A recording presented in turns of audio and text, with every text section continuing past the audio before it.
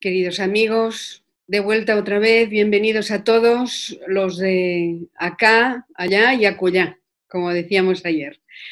Eh, es un gusto teneros a todos aquí y mm, vamos a tener esta tarde el privilegio de escuchar a Isaac eh, en su Isaac Howley eh, en su charla sobre la teosofía una guía del alma a lo eterno.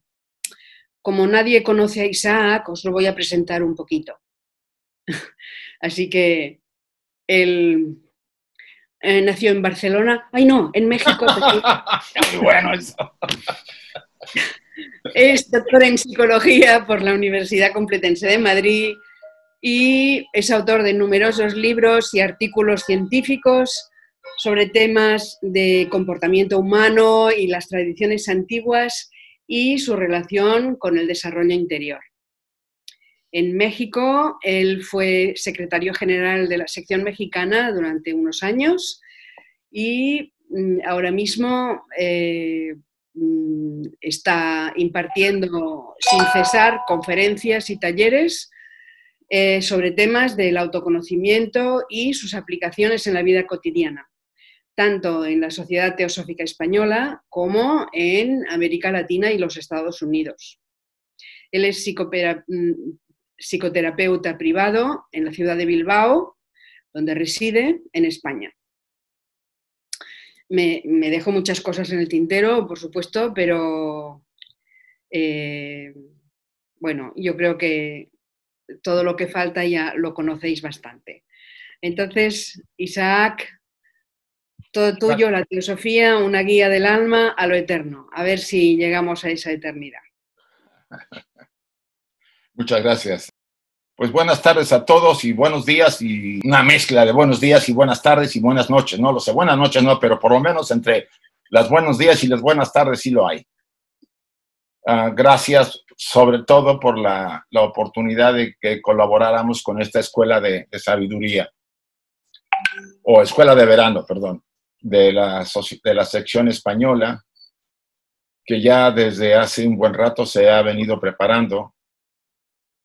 Y em, despierta el mismo espíritu que en algún momento, eh, al menos en lo personal, ah, había eh, surgido hace unos años cuando nos dimos cuenta, eh, y hablo de mi, el doctor Rey y yo, que trabajamos juntos en varios proyectos, en, eh, en la necesidad de dar un impulso, eh, una nueva energía, si queremos decirlo así, en ciertas áreas eh, de la enseñanza teosófica, de la teosofía.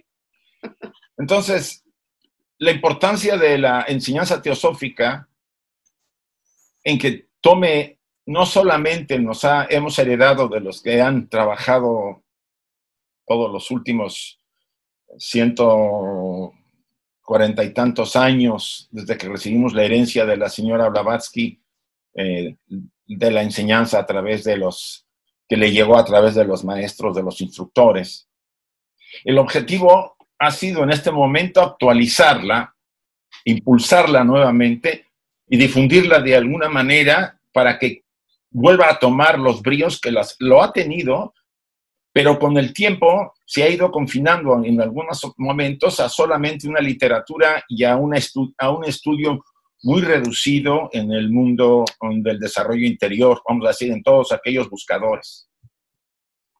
Eh, es cierto que me han antecedido a varios enfoques desde que empezamos esta escuela de verano. Estuvo Martín, y eh, después eh, vino también eh, Carmen, Clarisa, Carlos. En este caso estoy presentando un tema, mañana va a haber otros dos, incluso finalizando con Pablo Sender.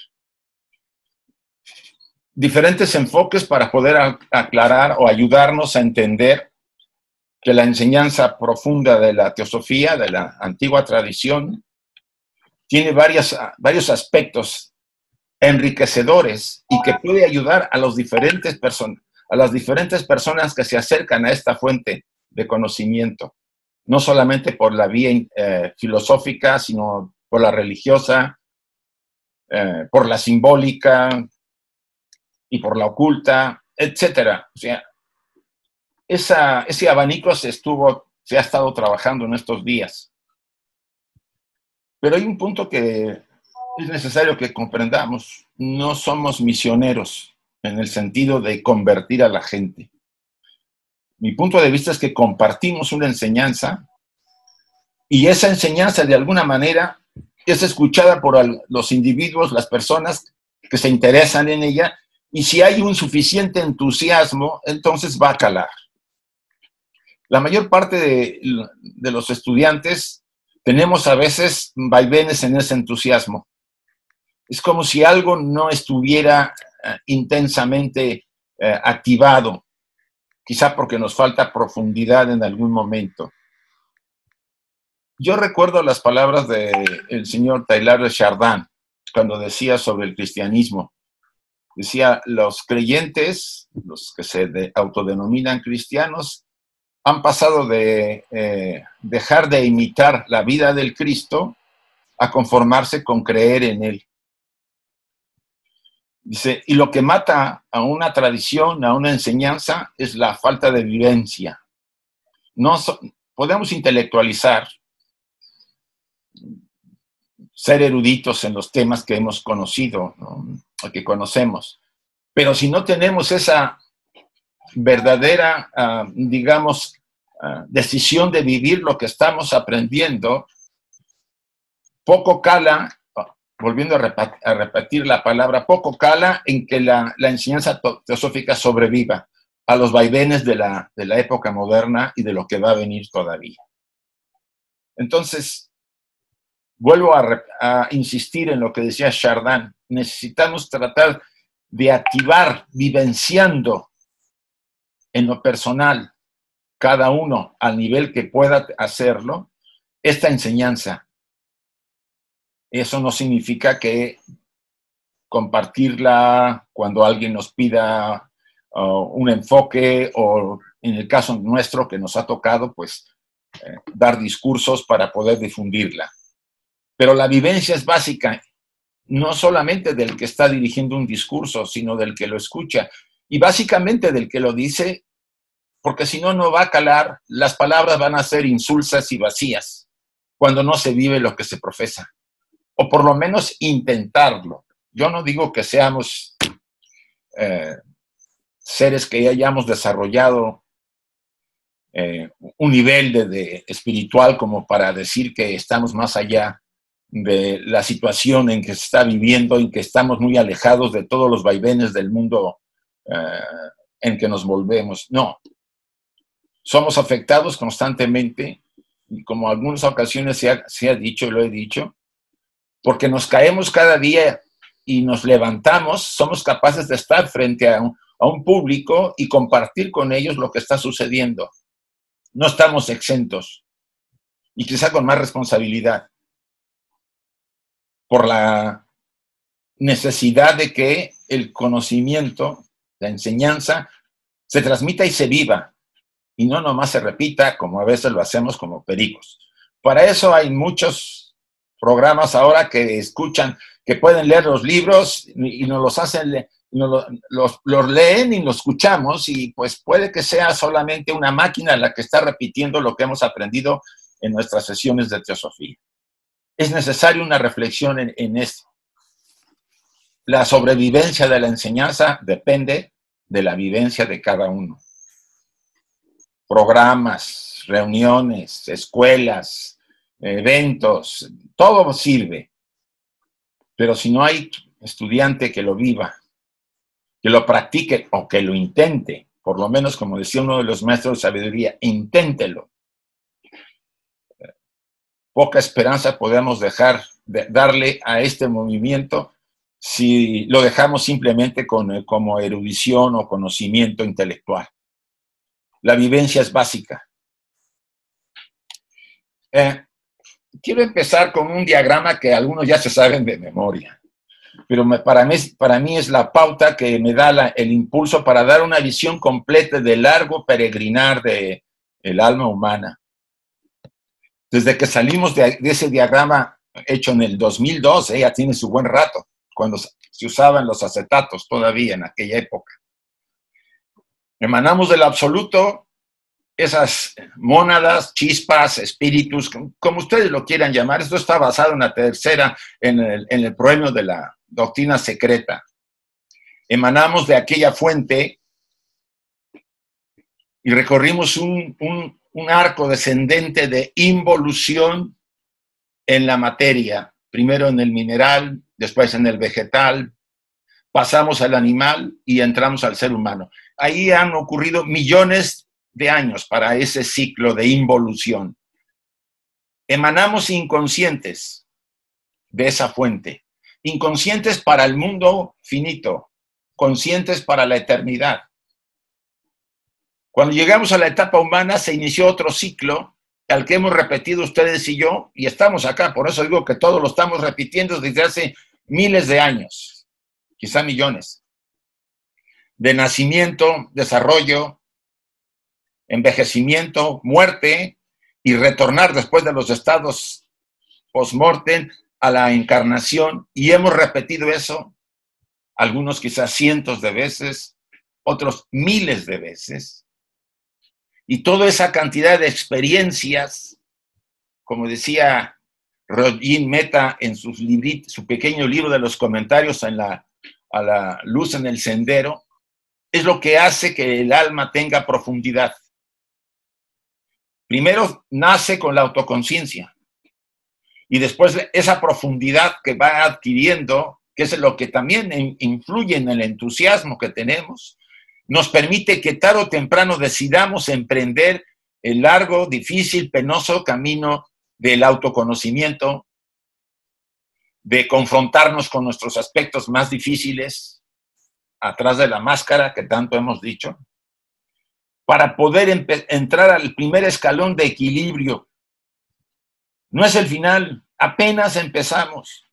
Y de ahí viene una serie de pasos, a veces largos, que duran vidas, hasta la famosa muerte del ego viejo, la autorrealización, que nos permite entrar a la etapa superhumana y, encadenarnos ahora sí a la etapa de evolución que nos va a devolver a la fuente de donde hemos emanado, a ese absoluto. Pasando quizá por la línea angélica o reteniéndonos y volviendo, como dice la enseñanza oculta, para volver y ayudar a nuestros hermanos. Este largo ciclo en el que ustedes y yo estamos sumergidos, tarde o temprano va a reclamar que abandonemos este ciclo de vida y muerte, como decía el Buda. Porque empezaremos a agotar ese deseo de volver. Hay un pasaje en la doctrina secreta eh, donde dice, hay un comentario que, que hace Madame Blavatsky que dice que las jerarquías divinas se sorprenden. No tienen ellos la autoconciencia elaborada como los humanos, por lo menos ciertas jerarquías, se sorprenden la pasión con que se arremolinan las almas para volver a encarnar, la necesidad de volver a sentir la vida en estos niveles de vibración, de densidad. Obvio, influidos, la influencia del karma pasado tiene que ver mucho. Pero parece, dicen ellos, se quedan impresionados de ver cómo las almas están hasta empujándose para poder volver a entrar a encarnar y vivir la experiencia en la tierra. Cuando eso se empiece a agotar, cuando ese deseo de volver empiece a aflorar en nuestras vidas, pero de una manera firme, no por cansancio de tantos problemas, sino porque estamos empezando a sentir que no es necesario eh, repetir tantas lecciones porque hemos empezado a sentir que ya no es básico, no hay tantos apegos, etcétera. Ha iniciado entonces apenas el proceso de salir de la rueda y, quizá empezar a la, al, al, sendero antiguo, a ese antiguo sendero de desarrollo y de liberación, a esa invitación del alma. En este momento el alma empieza a hacer efecto en nuestras vidas y a dirigirla. Ya sonó la campana, ya sonó el timbre de nuestro desarrollo y de que debemos empezar a volver. La teosofía es la ciencia o la sabiduría divina, como tanto nos hemos escuchado en esta escuela de verano y tanto lo hemos eh, leído con diferentes autores. Es lo que significan las dos palabras griegas que la originan, pero no se toma en la aceptación de que los de lo que Dios o los dioses saben, sino de lo que podemos saber y sabemos los hombres de Dios, de los no, de los hombres de Dios o de los dioses. Es decir, que es un saber de las cosas divinas que el hombre recibe, y esto es muy importante, que el hombre recibe, ya que por una revelación que se va transmitiendo entre ellos, ya por una revelación que ellos mismos pueden recibir directamente de Dios o de los dioses, por medios adecuados a su inteligencia y naturaleza. Y yo he querido subrayar eso. Los medios adecuados a su inteligencia y a su naturaleza.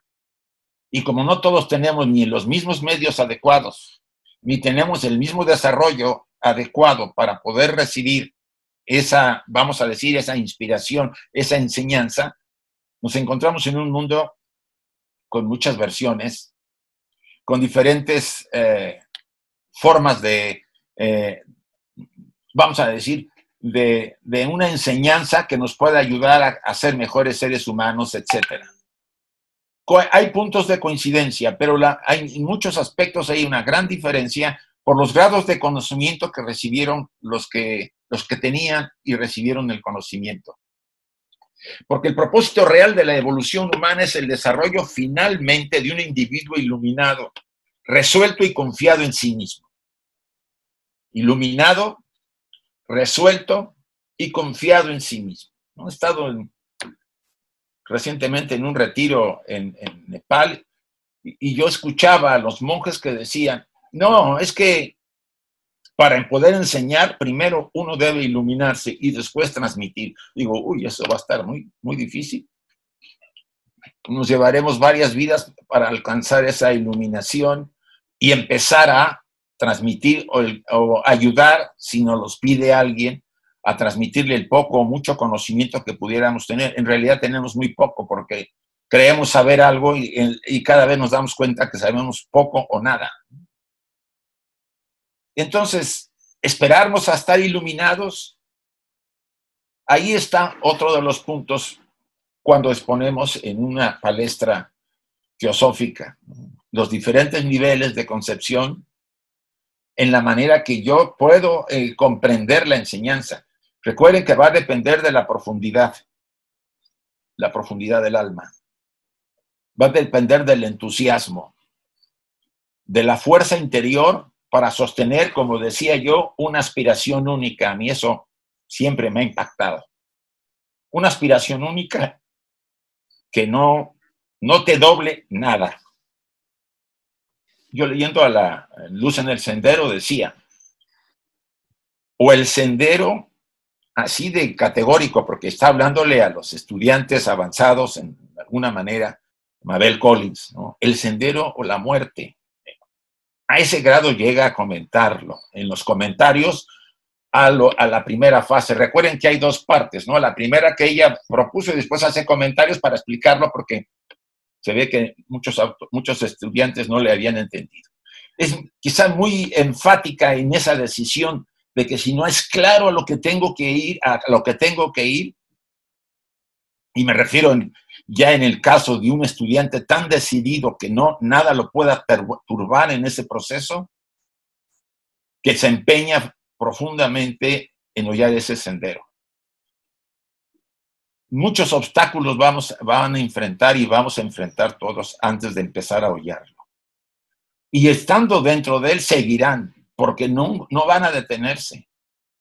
En un comentario que en alguna ocasión en Adiar, cuando estaba ahí en, restaurando documentos, alguien me hacía, el que fue vicepresidente un tiempo de, de Tim Boyd, un hermano, olvidé su nombre.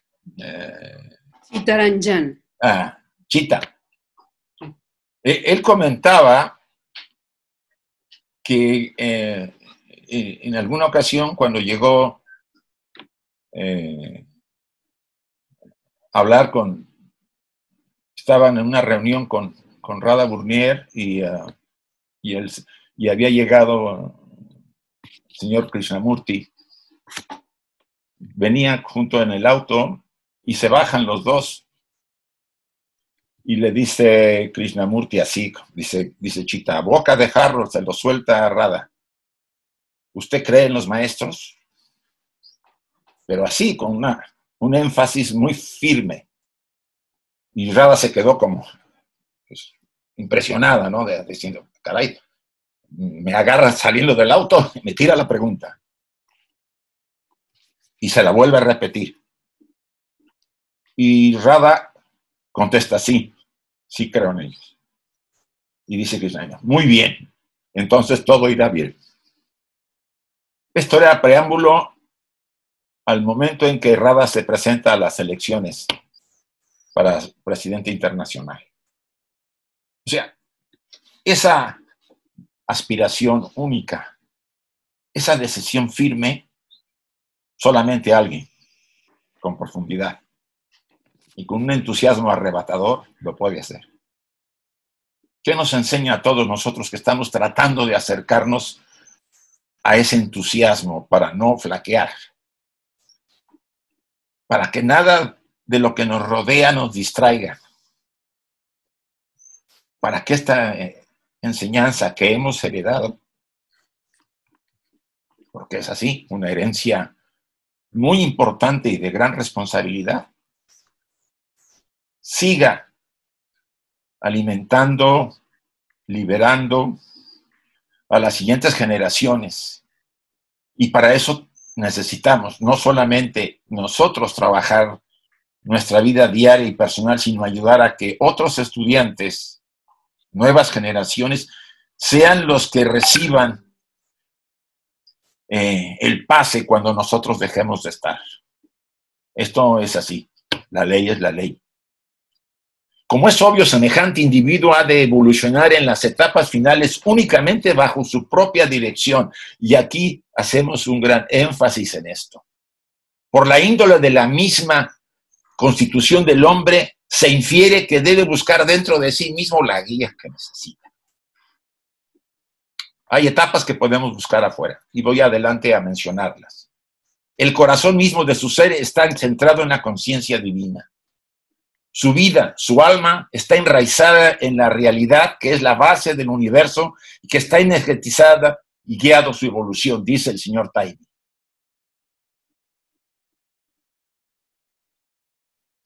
Pero ¿qué pasa?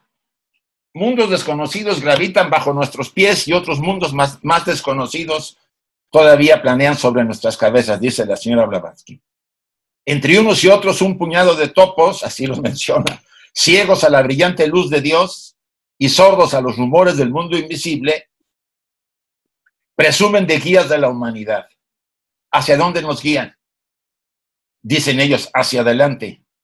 Responden ellos, pero nosotros no tenemos motivos para dudar. Nosotros no tenemos motivos para dudar. Nosotros tenemos motivos para dudar. Nos encontramos en un, en un mundo en donde hay en estos eh, personajes que nos rodean, tratando de que ser las guías de nuestras vidas, cuando nosotros empezamos a tener ese interés, un interés serio y firme porque ha habido una unificación de nuestra, nuestra, de nuestra forma interior, de nuestra estructura psicológica que ha estado dispersa.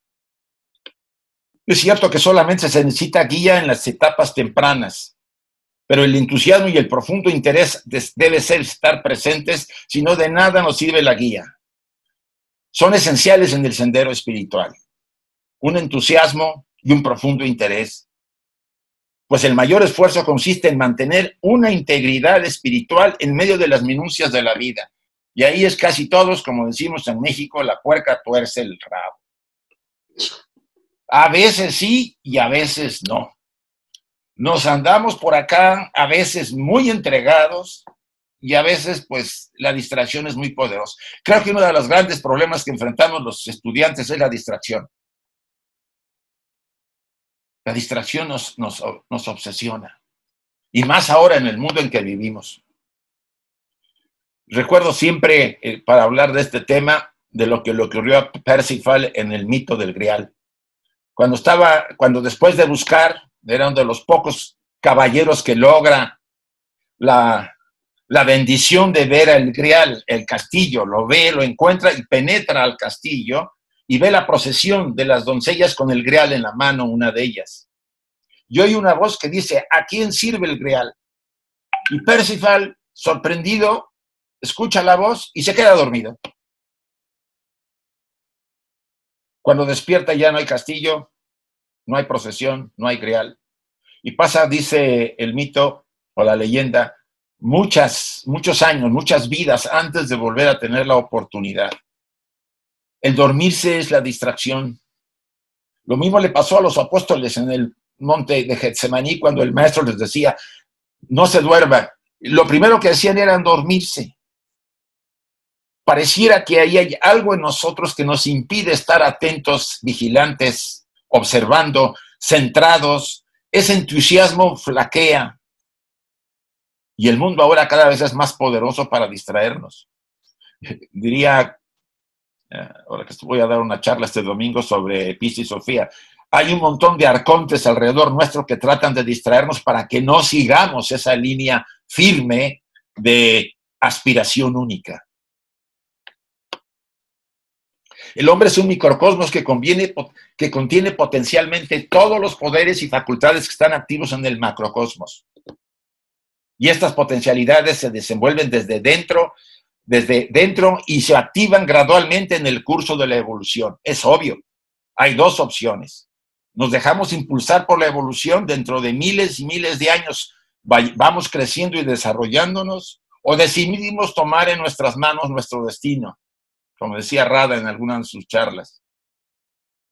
Decidimos porque consideramos que el proceso puede, puede no, no solamente me puede redimir, sino ayudar a otros a que también se redima. Y esa responsabilidad es una de las más grandes que tenemos los estudiantes de teosofía. Los grandes instructores de la sabiduría eterna y los libros han indicado repetidas veces que la luz que puede guiar al buscador de la verdad solo puede venir de su propio interior. Y aquí la luz que en el sendero dice a ese respecto, luz en el sendero. Dentro de ti está la luz del mundo, la única luz que puede iluminar el sendero. Si eres incapaz de percibirla dentro de ti, es inútil que la busques en otra parte.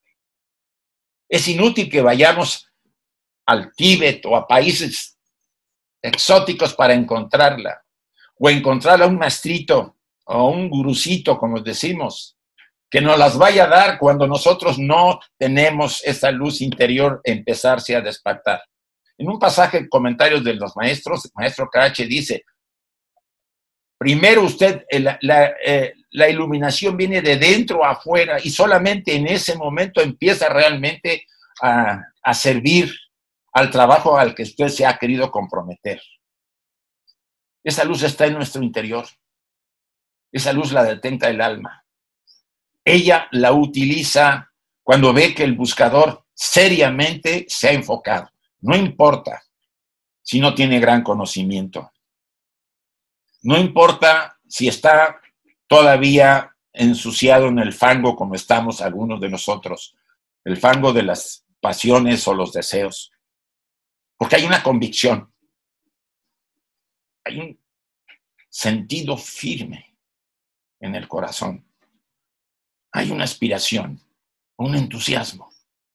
Ya eso, aunque como decía que se caiga cien veces, se levantará cien veces. ¿Cuándo debe uno apelar únicamente a la luz interna para guiarse? Escasamente hace falta de indicar que uno es incapaz de aprovechar esa luz en las primeras etapas de su evolución. Estamos de acuerdo, la luz no está de golpe y aunque uno puede presentir algo, ella va a ir incrementando su intensidad a medida que yo dé los primeros pasos. Durante largo tiempo necesitarán agentes educadores externos que le ayuden al desarrollar la mente al individuo, a modelar el carácter y a estimular sus facultades espirituales en botón. Pues una condición de fragmentación, desorden y caos inicial del buscador cede gradualmente a un estado en el que funcionamos desde un centro dentro de nosotros. Eso a todos, a todos nos ocurre, nos ha ocurrido y quizá nos sigue ocurriendo en algún momento, en algunos aspectos. Ese es el momento para iniciar la búsqueda de aquella única fuente de luz que puede iluminar su senda, que está en nuestro corazón. Al hablar de la fragmentación, la experiencia de sentirse disperso, fragmentado y confuso seguramente es familiar para todos nosotros de vez en cuando y esto supone la base psicológica y experiencial de la metáfora de la integración. La personalidad es una estructura compleja. Es un medio para la manifestación de lo eterno en nosotros.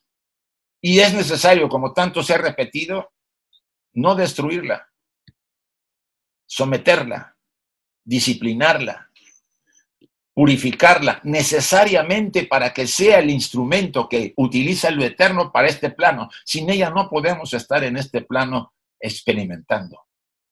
Cuando yo oigo ahí a veces algunas enseñanzas que hay que acabar con el ego, por supuesto, no nos entiendo que no se refiere tanto al ego físico, sino al ego, a la estructura interior que como decían también los gnósticos primitivos, al demiurgo que está en nosotros que quiere el control. Esa parte de nosotros debe ir perdiendo fuerza, ser disciplinada y mantenida a raya, y, hasta, y en ese momento tenemos esa posibilidad de atisbar los primeros rayos de esa luz interior. Los nudos y redes que atrapan a nuestra conciencia son los mismos mecanismos defensivos que también separan y dividen a nuestra personalidad. Seamos conscientes y honestos todos como buscadores. ¿Qué pasa cada día de nuestra vida? Divididos, atentos a miles de cosas, preocupados ahorita por este famoso virus. No sabemos los que no, los que no van a tener, tienen o no tienen trabajo, no saben cómo van a salir adelante. Algunos sumamente aterrados. O sea, todo eso nos divide, nos fragmenta.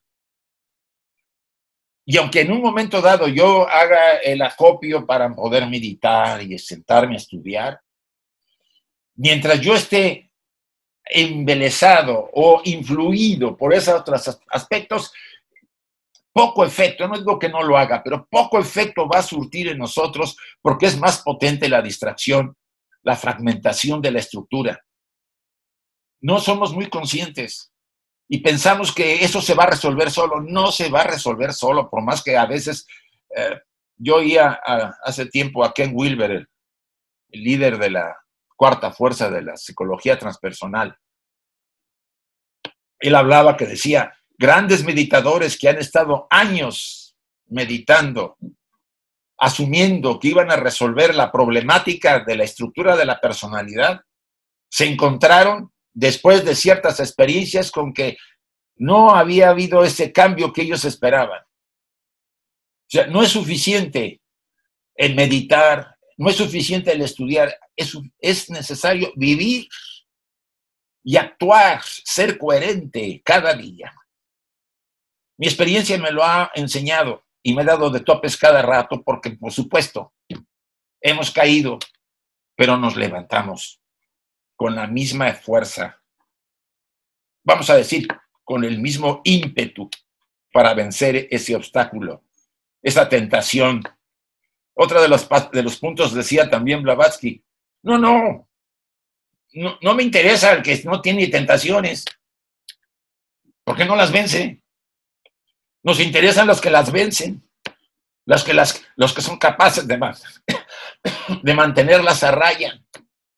Dice, el que no tiene problemas, el que está completo, este no evoluciona, entre comillas.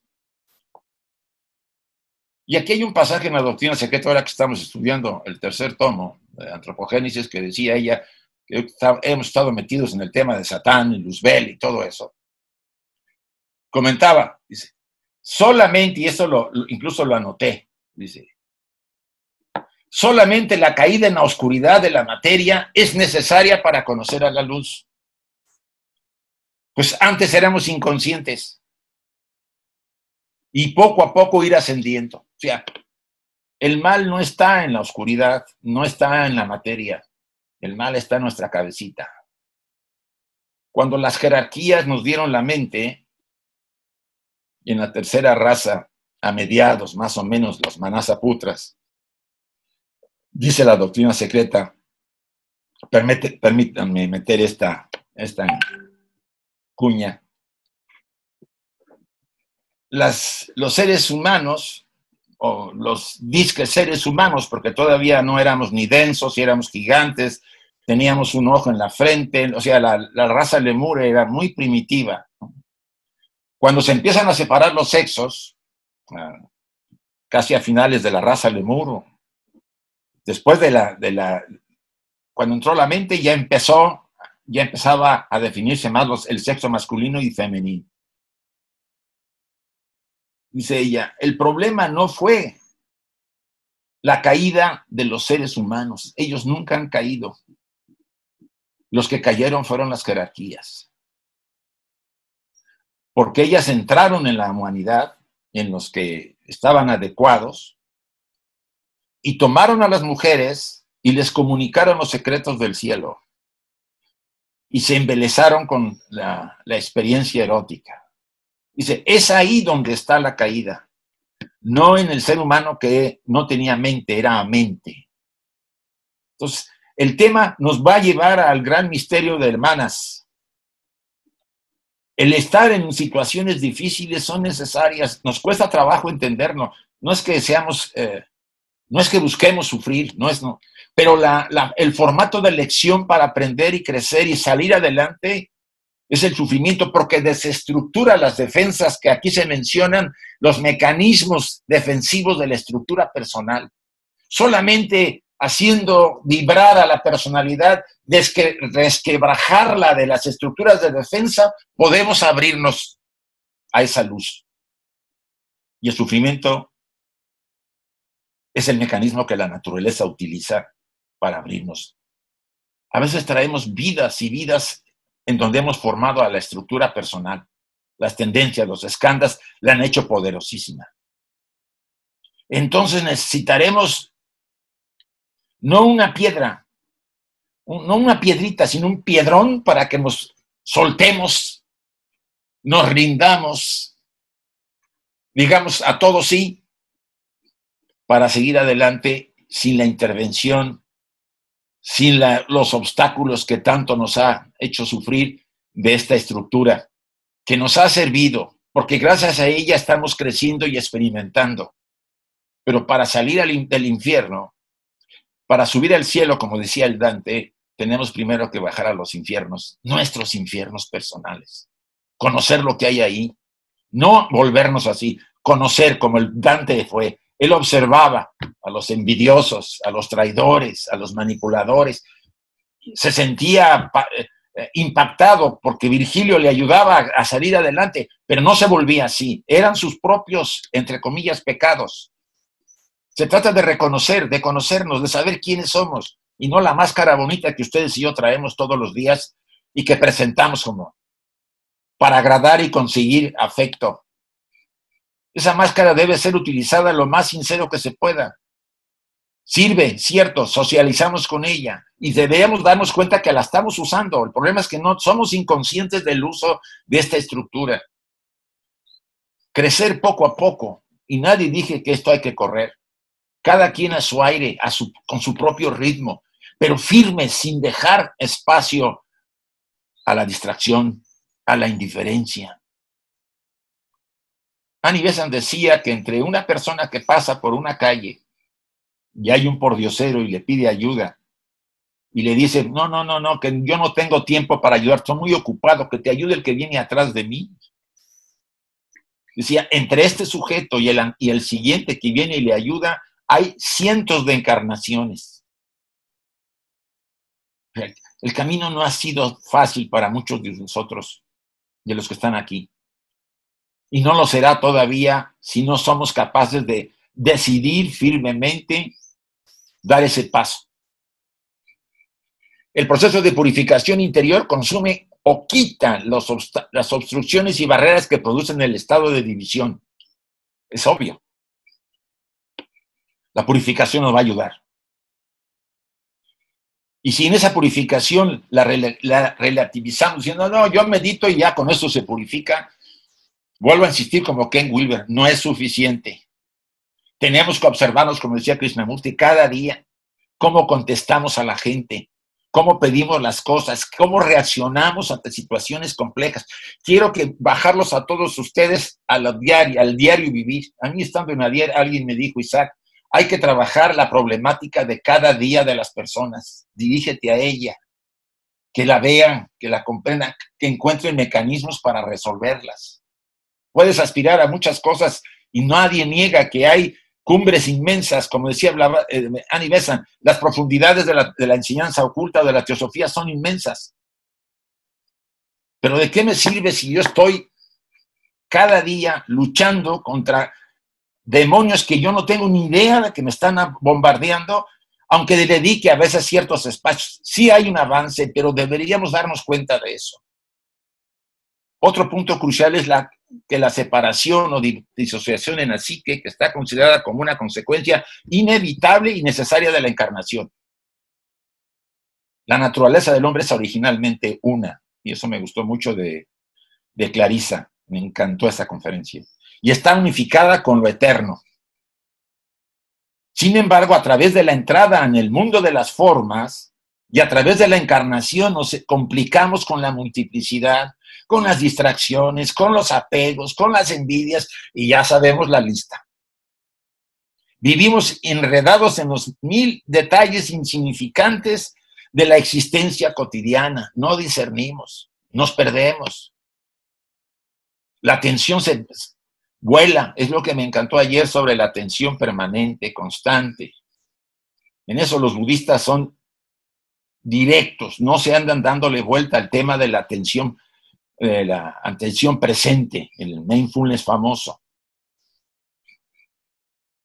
Vamos a, yo utilizo aquí un ejemplo que ya hemos repetido en otros seminarios sobre el mito de un héroe que funciona como un prototipo o modelo para el individuo que nos dice que debemos seguir el ejemplo del Dios que es desmembrado y posteriormente reconstruido, o sea, fragmentado y construido.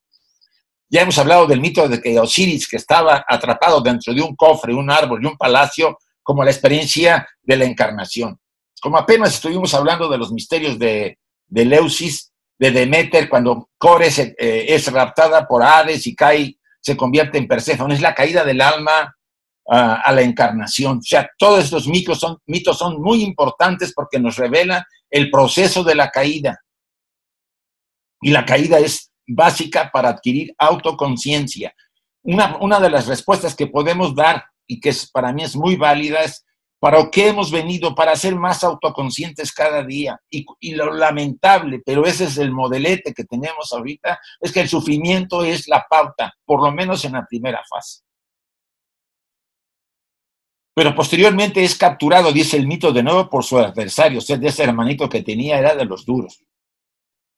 Esta vez le cortó en 14 pedazos que esparció por todo el mundo.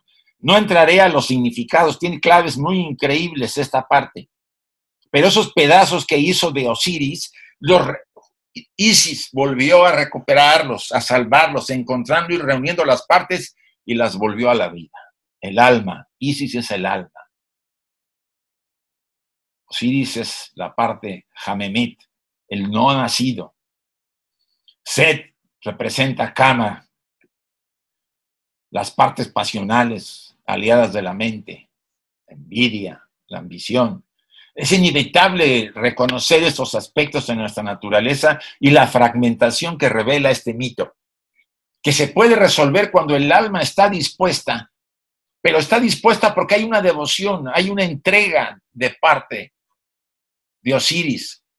Hay un entusiasmo, hay profundidad. Es la esencia de nuestra naturaleza. Esa se puede restituir cuando el estudiante, el buscador, seriamente apela a su yo superior, a su yo divino, le pide guía, le pide consejo y lo hace de corazón, siempre, siempre hay una respuesta.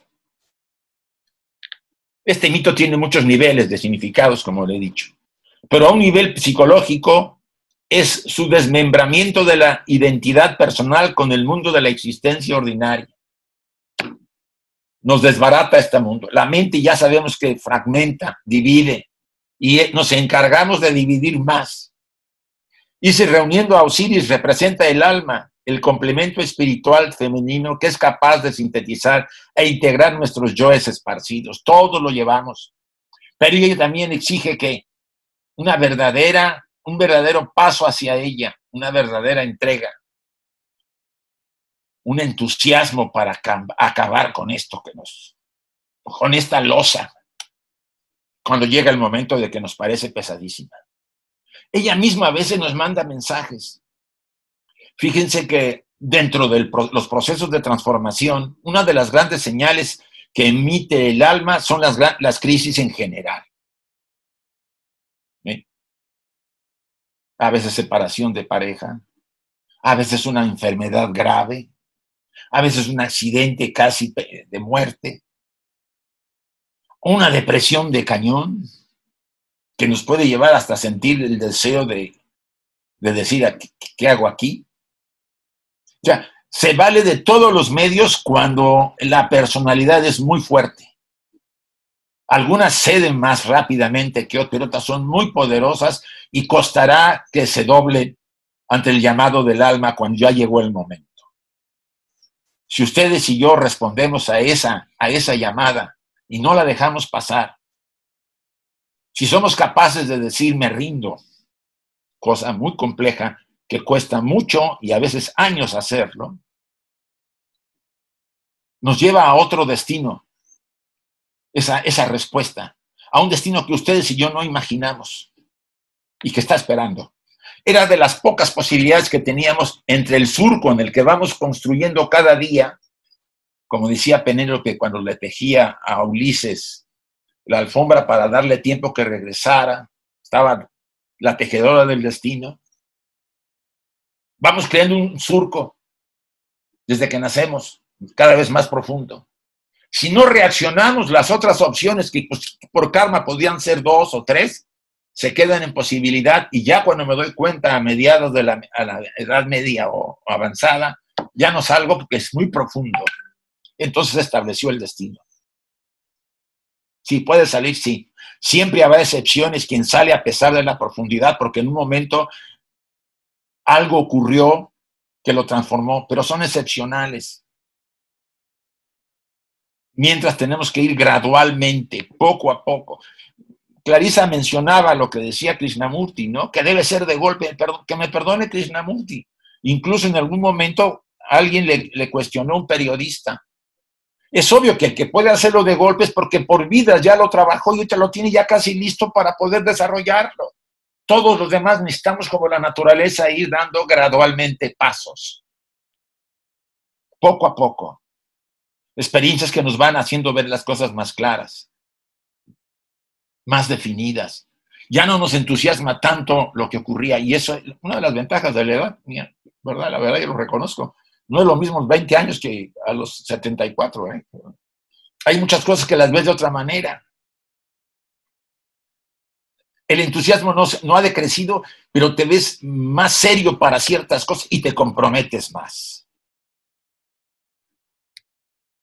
Este mito se aplica igual a hombres y a mujeres, pues en ambos se esparcen y se pierden en los esfuerzos de la existencia material. Ahora no hay excepción, en particular por los procesos de condicionamiento de la existencia ordinaria. Nos han condicionado, nos han alineado.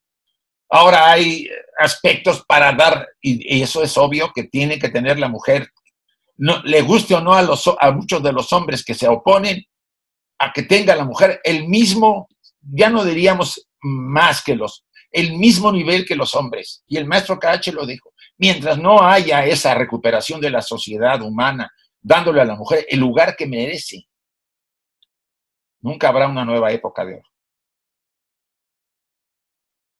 Y eso nos debería clarificar a todos los estudiantes, buscadores y sobre todo a los estudiantes de la enseñanza oculta, de cualquier escuela, sobre todo de las escuelas serias. No podemos permitirnos que a la mujer se le trate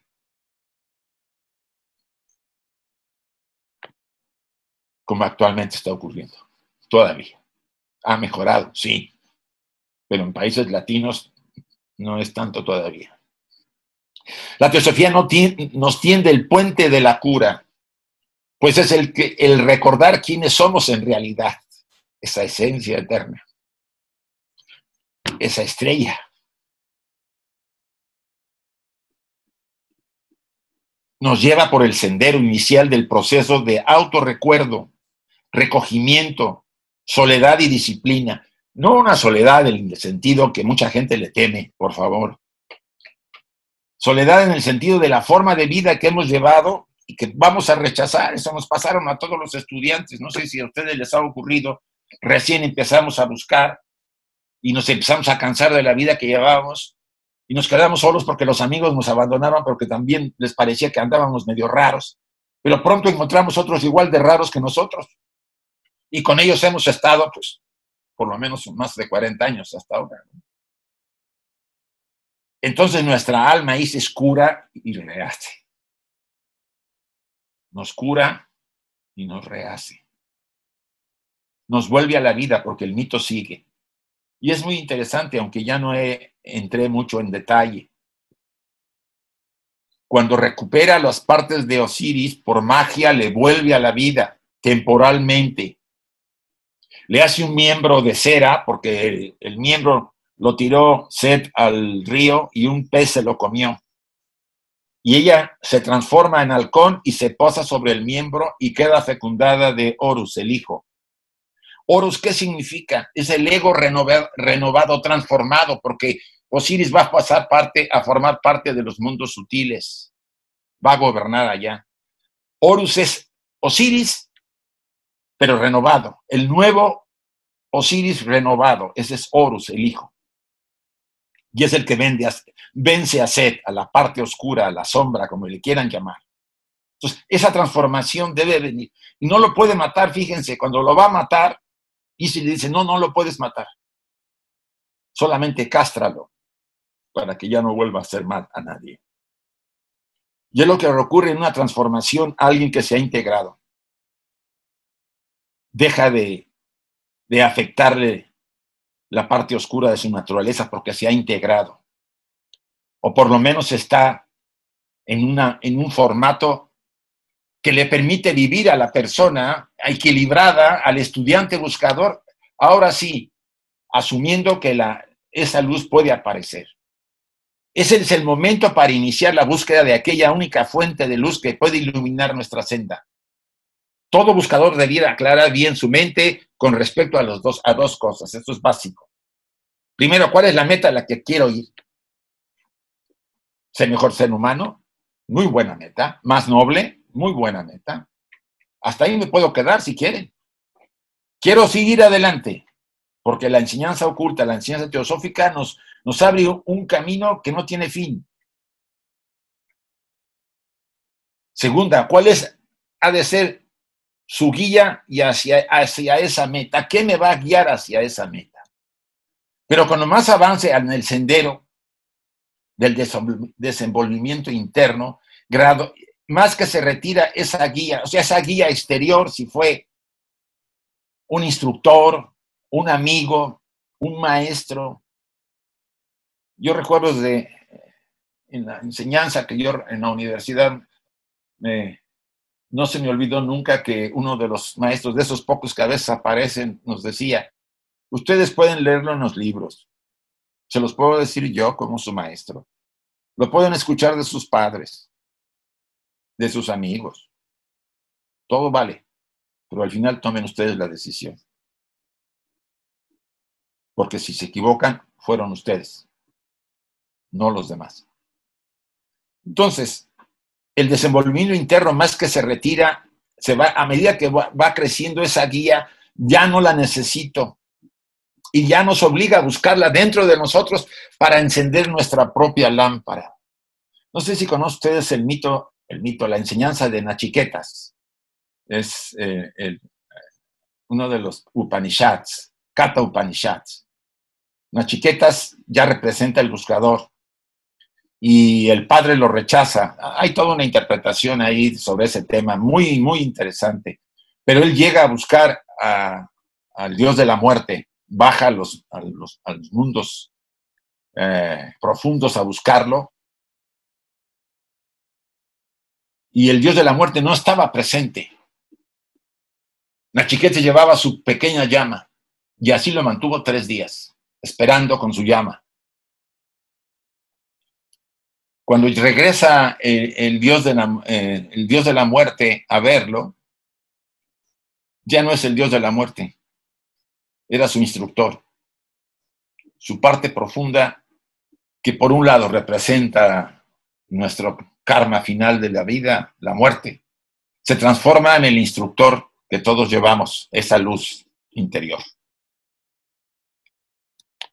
Pues el alma es el aspecto de nuestra constitución que desempeña un papel crucial en nuestro desarrollo. Tanto en los aspectos de la estructura personal, porque ella, ella, ella puentea entre la personalidad y lo divino, como en las dimensiones o estados de conciencia superiores. Yo me acuerdo una clasificación, creo que la da Blavatsky en alguno de sus libros, le habla, habla del alma divina, el alma habla de varias almas, ¿no? La alma animal, la alma personal, el alma intermedia y la alma superior. O sea, a veces la terminología alma nos puede confundir. En otro pasaje, yo aquí en el libro este de Pista y Sofía, en los comentarios de la que habla de que el alma es uh, Atma Buddhi. Y ahí lo deja así. Suena muy general, pero también Clarisa dio otra clasificación. Entonces, lo importante acá es que hay un interlocutor en nosotros que está dispuesto a escucharnos, a guiarnos. Puede incluso hablarnos hasta en sueños. Puede decirnos cosas que necesitamos saber, tomando en cuenta que los sueños tienen varias características y que el, individuo debería ser eh, inteligente para discernir si el sueño es de ese calibre, como decía Blavatsky. Hay sueños que nos enseñan, nos guían, nos dan lecciones, incluso nos reclaman. Yo recuerdo en el septiembre del año pasado, lo puedo decir porque es muy simple, septiembre de 2019, yo veía mucho la tele, sobre todo el programa este de sci-fi, de, eh, de programas de ciencia ficción que me gustan mucho, me gustaban. Yo me quedaba embelesado, veía la tele podía caerse el mundo y yo estaba clavado. Y yo me acuerdo que una noche de esas, no me acuerdo muy bien, estaba yo en un sueño y había una mujer tras una especie de mesa que me decía, Isa, se acabó la televisión. yo, ¿qué hombre? Oiga, mire, aunque sea nomás ese programa, ni ese programa, ni nada. Pues desde ahí no la veo. Y lo que me ha hecho es descubrir otras cosas que yo no tenía ni idea de la distracción que me producía ese, ese programa. No la veo. Dejarle ver la televisión tiene, libera muchísimas energías para otras cosas. Por lo menos es mi experiencia. Mi experiencia. No quiere decir que ahorita salgan algunos y digan, no la voy a ver. No, no, no, calma. Uno puede pensar que alguien puede verlo de una manera, pero eso no significa que así es. Cada alma tiene su propio camino en el sentido general, aunque al final nos encontramos todos en el mismo. Al parecer, la autoconciencia que marca el nacimiento del alma humana se abre, se le abre la posibilidad de participar en su propio desarrollo. Pero cuando el alma ha alcanzado bastante desarrollo y madurez, puede tomar parte activa e inteligente, puede cooperar con aquellas fuerzas que están presionando a evolucionar. Ese es el principio de la fase del desenvolvimiento interno en el que hemos estado llamando espiritualidad.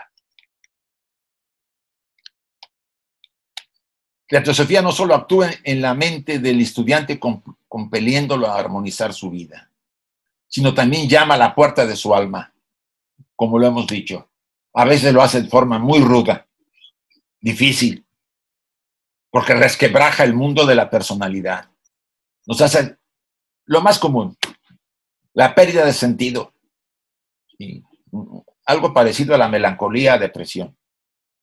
La persona no tiene ganas de nada empieza a perder el, motor que le movía. Buscaba antes poder y la posición, de ahora no quiere ni poder, ni posición, ni nada. Algo ha ocurrido que, dijo el alma, muy bien, no me haces caso, retiro la energía psíquica y a ver cómo lo haces. Nos caemos. Ella nos sostiene. La gente incluso recurre al suicidio en un momento dado cuando es increíblemente poderosa la falta de esa fuerza. Nos aboca a cosas que no podemos ni concebir ante una, una experiencia de ese calibre. Sino también llama a la puerta de su alma, le despierta el horizonte infinito al que pertenecemos y nos impulsa a inducirlo a retornar a su verdadero hogar, a que nosotros volvamos a nuestro hogar. ¿Ustedes creen que este plano, que este mundo es nuestro hogar? Lo hemos estudiado, pero muchos lo toman así como muy a la ligera. Estamos de, imagínense que venimos de vacaciones y ya se nos olvidó y ya nos quedamos acá. Ya nos gustó venir cada, cada encarnación, venimos de vacaciones a la tierra.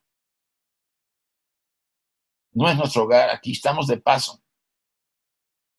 No sé si cuando ven una noche estrellada, no se identifican con el cosmos, con la verdadera, el verdadero hogar, como decía, dice en la, doctrina secreta, la estrella padre de donde venimos. Ustedes y yo no pertenecemos a este plano. La esencia, el traje sí. Ahí es nuestro verdadero hogar, al que deberemos volver. El exilio ha empezado a terminar, pero solo es el principio, pues varias vidas aún le esperan en el viaje de la eternidad. ¿sí? La luz que parpadea en la oscuridad ha tomado nueva intensidad. Como decía también Clarisa, nos ven como, no, eso lo dice, creo que lo dijo Nuria. Los maestros nos ven como pequeñas lucecitas que parpadeamos y cuando empieza, empieza firmemente el alma a dar pasos, la luz empieza a quedar fija. Ya no parpadea. Y observa. Dice, mira, mira, ahí está uno que está más o menos interesado en hacer una transformación. A ver, pruébalo, porque así va a ser siempre. No nos podemos escapar de esa experiencia. La luz que parpadea en la oscuridad ha tomado nueva intensidad. La estrella eterna de nuestra alma que está oculta dentro de nosotros nos guía ahora. Y nuestra vida cambia. Quisiera cerrar con algo que encontré.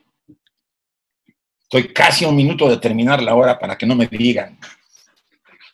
Este pasaje lo encontré en, los comentarios de la doctrina secreta del 89, donde Blavatsky se reunía con los estudiantes de la rama Blavatsky o la logia Blavatsky de Londres. Este pasaje a mí me, me, impulsa. Déjenme moverlo porque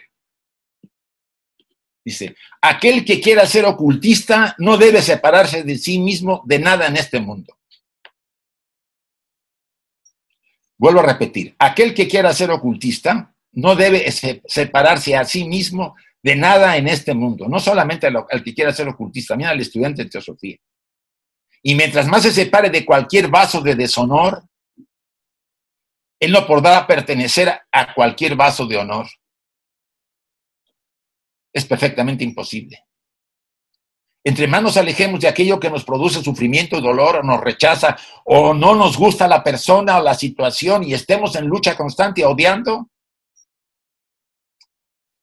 nuestras oportunidades van a ser pocas. Entre más nos acerquemos a ese ser, a esa situación, resolvamos esos odios y rencores, nos transformamos.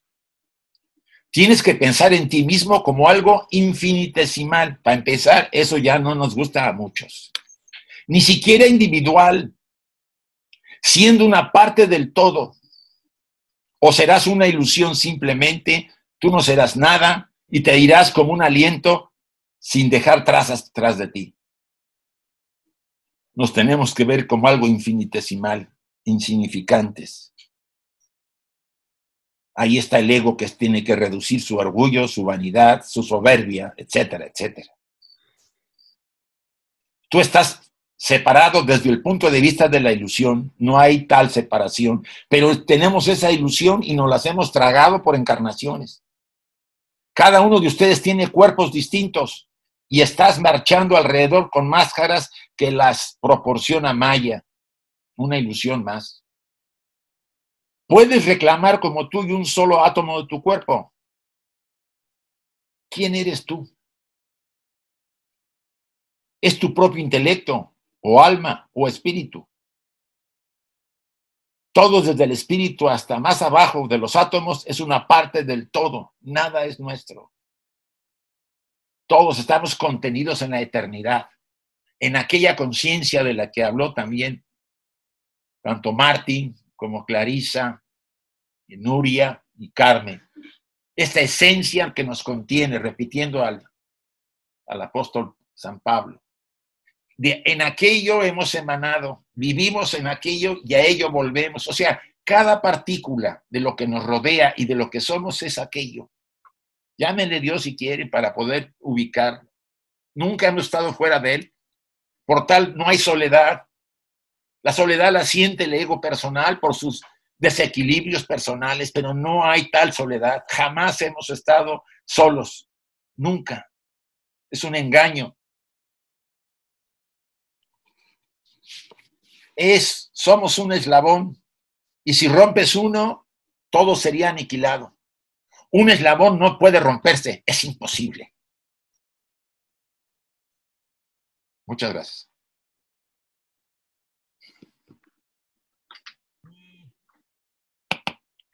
Madre mía. Muchísimas gracias, Isaac. Mm, casi que tendríamos que hacer un minutito de silencio para eh, ponernos un poco a tono, ¿no? Eh, Me he quedado sin palabras. Muchísimas gracias, de verdad. Yo creo que todos estamos un poco igual, igual de como conmovidos, ¿no? Porque mm, realmente del alma a lo eterno. Eh, no sé qué decirte. realmente ha sido genial.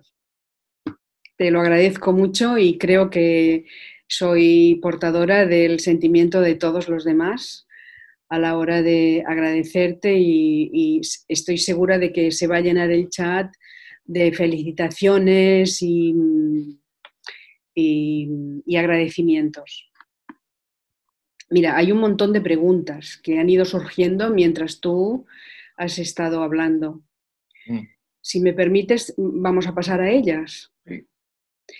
Bien, la primera Em, es Montserrat Fusté que pide si, si, se, si puede acceder a los gráficos que has presentado al principio, porque le han resultado muy clarificadores y le gustaría estudiarlos con calma. Yo lo puedo mandar a, Nuria para que los presente en el chat, creo, ¿no? Eh, sí. Sí, con gusto. Vale.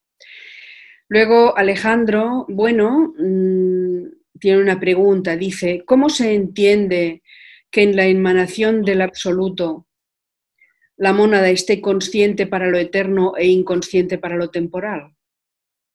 Es una de las grandes preguntas que se hacen en todas las épocas. La pregunta es, ¿por qué estamos acá? ¿Qué, objeto tienes si aquello es perfecto?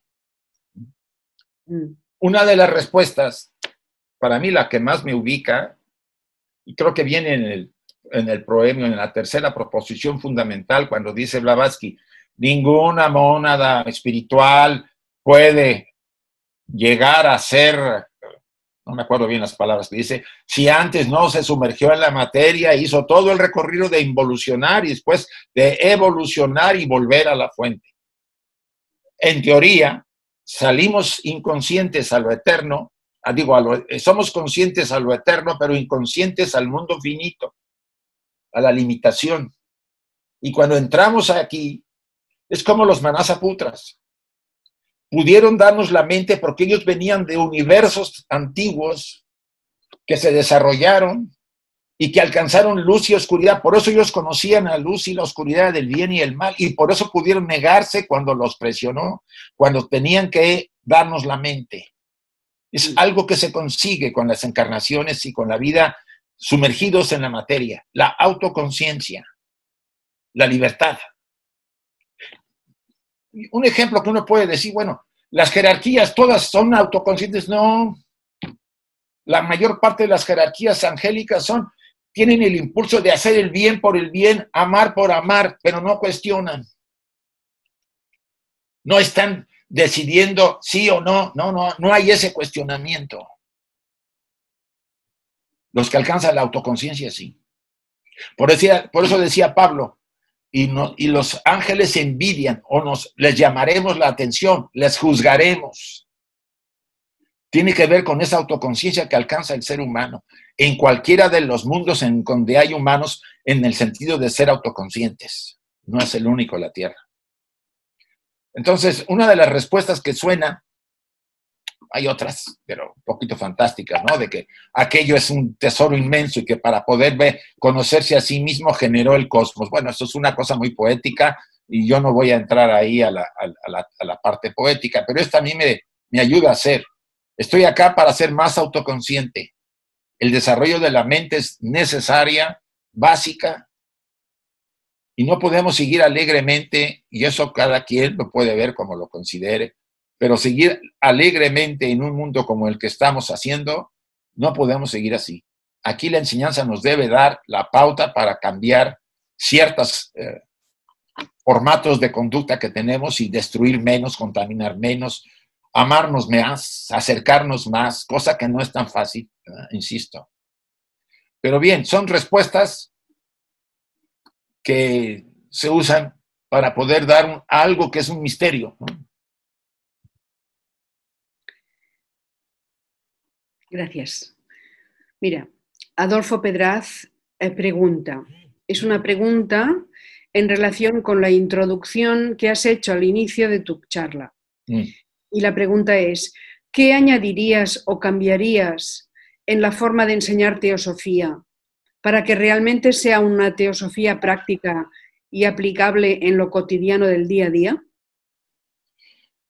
Mira, la enseñanza, la enseñanza como la recibió Blavatsky y la siguieron eh, transmitiendo muchos de sus discípulos, debe ser renovada actualmente, es mi opinión.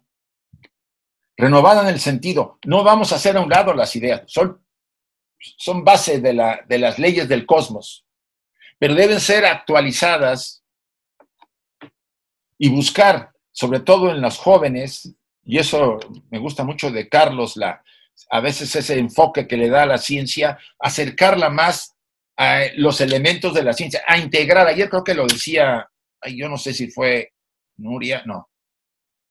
O, fue Carlos y este chico de, de, Estados Unidos, ¿cómo se llama? Fernando. Fernando, que había, sí, Fernando lo dijo, que había acercar más a la enseñanza, a los aspectos, vamos a decir, de la enseñanza científica. O sea, no estamos alejados de la, de la ciencia, al contrario, cada vez se acercan en muchos eh, de los descubrimientos a lo, a lo, que la teosofía ha enseñado. O sea, habría que abrir varias, varias vías para investigar y acercar. Y eso se ha intentado, porque yo recuerdo bien esa reunión que ustedes tuvieron en, en Holanda, ¿te acuerdas? Que tuvieron ahí muchas ideas y que me acuerdo que compartiste algunas con nosotros. O sea, sí hay posibilidad de, refrescar esta enseñanza, porque ese es nuestro peso, ¿eh? al menos yo lo siento así. Ni la responsabilidad de, que la transmitamos y que, que siga viva. Porque como todo se puede morir y se muere cuando no se vive. Entonces, habría que varias vías de investigación en la educación, eh, las técnicas que se usaron como la de la señora Montessori, el estilo de, de, la educación de Krishnamurti, fueron en su momento y todavía siguen vigentes, pero debe haber una renovación, el interés por abrir la enseñanza a todos aquellos, a todas aquellas almas que estén ávidas, y hay muchas, y no saben de la enseñanza. Mucha gente se ha sorprendido ahora con, la, con los Zooms que estamos haciendo, de que la teosofía tuviera esta visión y están interesados. Es una de las cosas que nos ha sorprendido a todos los que hemos empezado a trabajar en esta línea. Están interesados en que esto, en esta enseñanza, desconocían que existiera algo así, para que veamos que no, que no es solamente para un grupo pequeño en este momento, sobre todo porque el mundo está siendo presionado para buscar nuevas vías. O sea, el paradigma del que tanto hablamos y es el título de esta escuela, nos debe mover a buscar nuevas formas de, presentación. Yo no, no voy a cuestionar que en algunos casos, pues, las técnicas usadas fueron vigentes y a lo mejor algunos siguen usándolas, pero debemos buscar nuevas vías y no sentarnos en nuestros laureles porque ah, lo dijo Anivesa ni lo dijo la señora Blavatsky. No, no, estamos en el siglo XXI y nosotros, al menos yo me siento más responsable porque pronto mi tiempo se está acabando. De momento, en, en esta, ¿pero qué dices? Bueno, vamos a seguir. De Clarisa. Dice, a ningún niño de primaria se le pone de maestro a un profesor universitario o a un catedrático. Por supuesto. De la misma manera, a ningún universitario se le pone un profesor de primaria. Así que cada etapa requiere lo adecuado para ella. Los aprendices de primaria necesitamos también algún profesor o maestro con minúscula que nos ayude en esta etapa. Sí. Etcétera, etcétera. Sí, eso no lo podemos evitar porque seguimos la, gradación que la naturaleza nos propone. vamos pasando gradualmente por los procesos de, transformación. Si pudiera pasar el niño de 7 años al, adulto de 21, bueno, quizá hubiera, crearíamos un monstruo porque todo el proceso de la juventud, ni la, ni la adolescencia ni la juventud la pasó y no sabemos lo que podría pasar. Entonces, hasta ahora la graduación es necesaria, sí, y sobre todo porque no todas las almas vienen con el mismo calibre de desarrollo.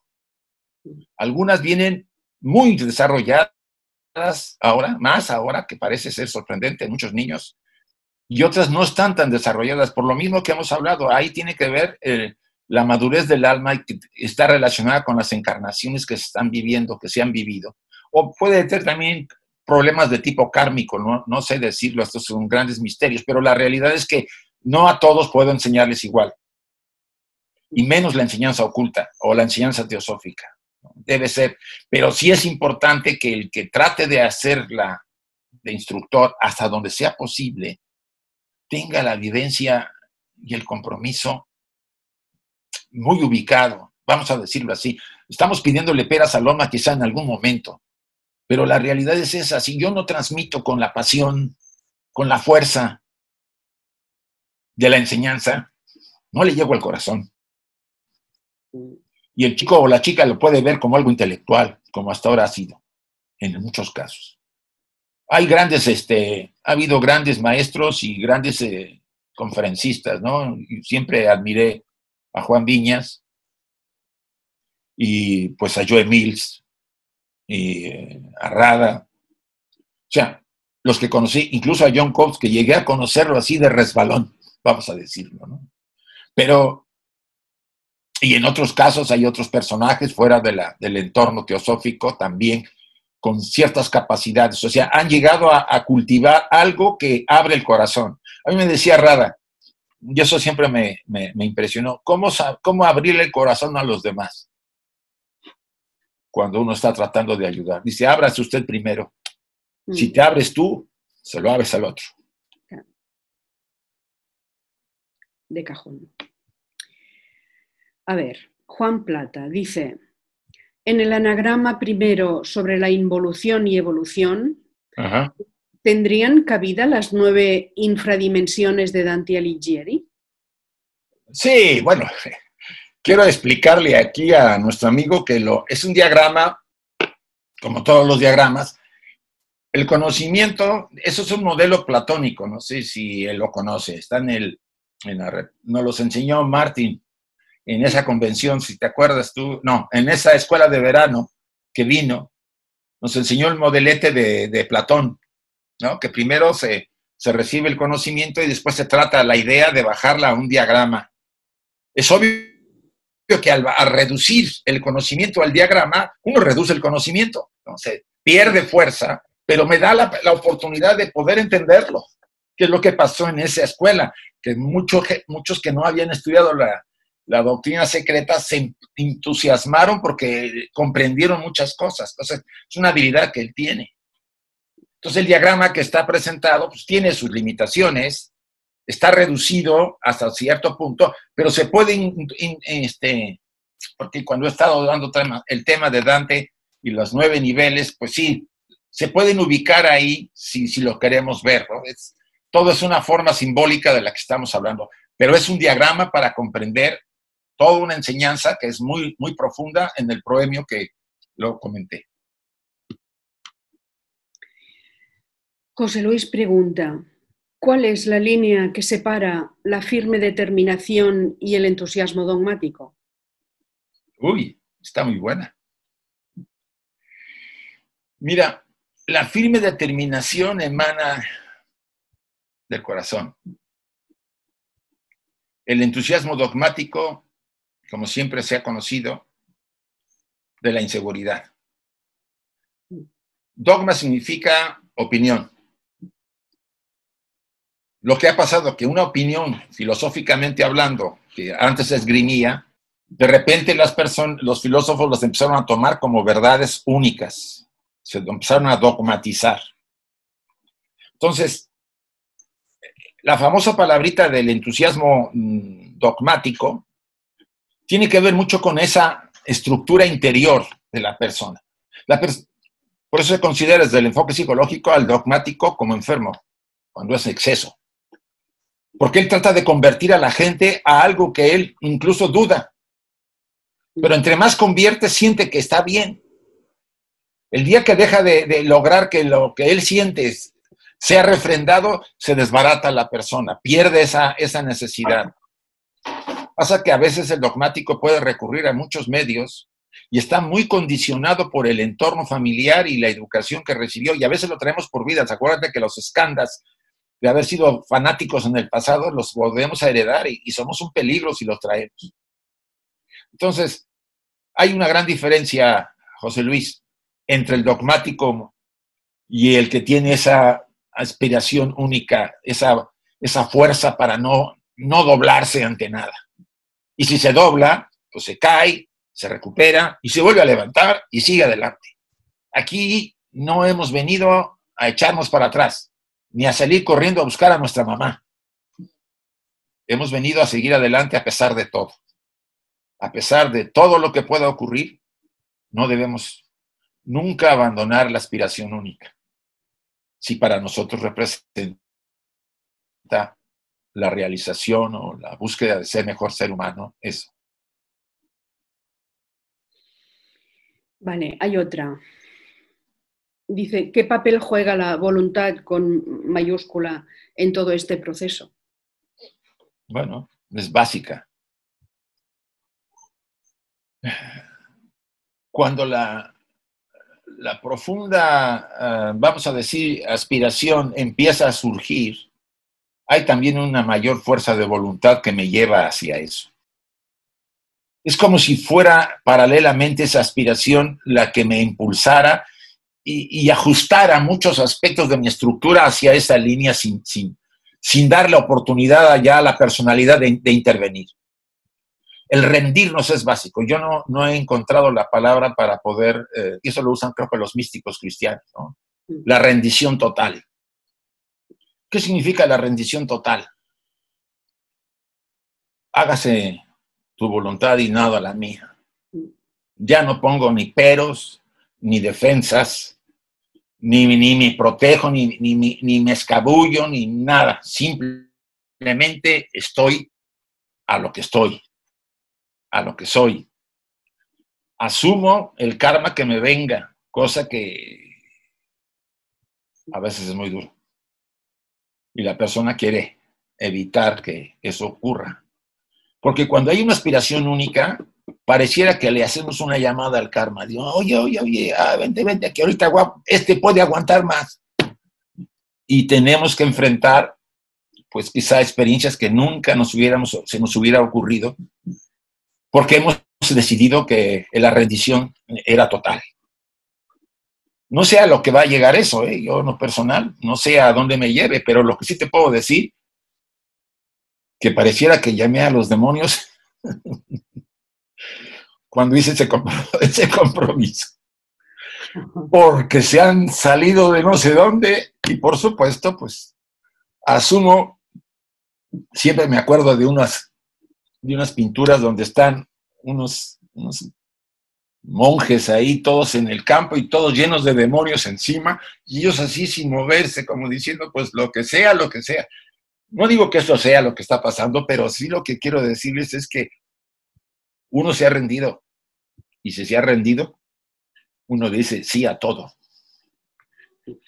Cuesta, porque tienes que tener una fuerza interior y una voluntad para soportar el peso, porque es de día y de noche. No asusto a nadie, porque cada quien tiene su manera de verlo y su propio proceso. Los procesos son muy parecidos al principio, pero después eh, son muy diferentes y, y, después nos unificamos, pero venimos de diferentes fuentes, de diferentes experiencias, de diferentes vidas y hemos hecho, eh, ¿para qué decirles? De todo. Y eso hace que tengamos que resolver todo eso que quedó atrás.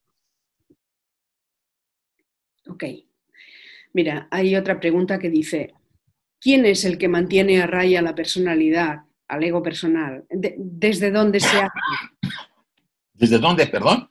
Se hace. ¿Desde dónde se mantiene esa, a raya esa personalidad? ¿Y quién es que la mantiene a raya? Para mí el alma, yo superior, el alma, como quieran llamarle. Cuando tú la convicción que te mueve ha sido lo suficientemente fuerte y lo has demostrado, no nomás por decirlo, sino que te han, es como si te hubieran probado un largo tiempo para ver si es cierto, porque así pasa, ¿eh? Hmm. A ver, a ver, a ver, quiere, quiere, a ver, vamos a dejarlo, a ver si es cierto. Ponle esta. mira, aguantó, ponle otra. Y así otra, y otra. Aguantó, déjalo. Entonces ahora dale oportunidad a que siga adelante. Entonces, el alma es la que decide cuando ve la seriedad. Esa es mi experiencia. Si hay seriedad, si hay convicción, si hay firmeza, si no hay salir corriendo buscando ayuda de otra forma porque ya no, sé qué hacer, pues me dicen, no, mira, este chico esta chica todavía esperan otras encarnaciones para que agarre más fuerza. El gato. Entonces, esa fuerza la mantiene, porque ese es el apoyo del alma cuando ve que tienes esa convicción. Es mi experiencia. Si no es por ella, yo no podría con todo lo que me está pasando. Es la realidad. Lo digo así, sin entrar en detalle. Es como decir, mira, eh, tienes una oportunidad, eh, no la dejes, te va a costar mucho, pero no la dejes y, yo he aceptado, y, pero esa voluntad se mantiene porque viene de la esencia eterna a través del alma. Porque la voluntad de la personalidad que se, se, manifiesta como deseos, deseos de conseguir cosas, de ir adelante, es voluntad que posteriormente madura. Si ustedes algún día, el que me escuche, da ese paso firme y firme porque no podemos engañar a, nuestro ser interior que está viendo cómo estamos haciéndolo. Entonces sonará la campana de un cambio en sus vidas. Mientras tú dirás, bueno, todavía necesita vivir experiencias. Y eso, eso es parte de nuestro camino que todos los estudiantes que estamos tratando de hacer algo estamos recorriendo. Ninguno se escapa. Obvio, cada quien con sus obstáculos muy particulares. Rafael Enrique Martínez Leiva pregunta, ¿solo a través del sufrimiento podemos evolucionar o hay alguna otra opción o forma? Yo hace años recorrí, recuerdo, conseguí en Adiar un librito que se le asignaba o se le daba, que era, había escrito para el maestro Karache cuando el maestro Karache estudiaba en Londres. El sueño de Rabán se llama, la traducción. Yo lo, tengo, pero lo tengo en un inglés de esos de principios o finales del siglo XIX que me cuesta mucho entender, pero bueno. Y en un pasaje más o menos leyendo decía él, solamente a través del sufrimiento, que es una de las grandes, grandes instrumentos de la vida de la naturaleza para poder modelar a la personalidad, se inicia el proceso de transformación. Llegado un momento cuando el alma, cuando el individuo ha aprendido las lecciones básicas y no necesita ese, entre comillas, esas, esas lecciones de sufrimiento, puede empezar a aprender a través de ver en otros las situaciones. O sea, si yo veo que alguien comete un acto y tiene ciertos resultados, digo, eso ya ya no lo voy a hacer aunque tuviera yo ganas, porque estoy viendo, o sea, empiezo a aprender por autoconciencia. Pero al principio somos demasiados rudos, vamos a decir, limitados para poder verlo. Y a veces la experiencia del sufrir es la única que nos ayuda. Pero llega el momento en que no lo tenemos que hacer. Lo estamos aprendiendo por el ejemplo de otros, por entender la ley del karma, por entender el conocimiento que, que se transmite en la enseñanza y vamos viendo cómo dirigir nuestra vida. En el pensamiento de, hoy, de Cienas, en los pensamientos de esta señora Catherine, Catherine Shirley, algo así. Vichy. Vichy. decía, decía, si usted quiere ah, tener más acercamiento a nosotros y quiere usted estar dispuesto a, compartir más con, con, nosotros, cada día usted eh, reflexione por la noche la famosa reflexión de nuestros actos, estudiese más, vea las cosas que hizo y, cómo corregirlas, qué planes tiene, planteese ustedes los planes para sus siguientes días, o sea, haga una verdadera reflexión interior y propóngase hacer cambios en su vida. Eso nos va a ir transformando lentamente, poco a poco. O sea, tenemos herramientas. A veces lo que nos falta son las ganas. Y esas ganas nos hacen, como les decía, esa es la falta del entusiasmo.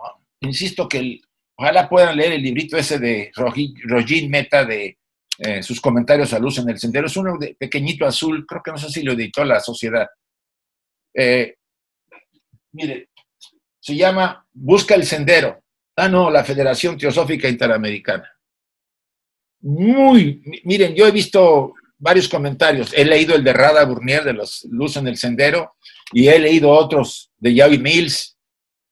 Pero este tiene algo, para mí, y vale la pena porque te cuestionan muchas cosas y habla realmente de, esa dificultad del entusiasmo, de la distracción que todos padecemos cada día y que nos va a veces desviando de lo que aquello que queríamos hacer.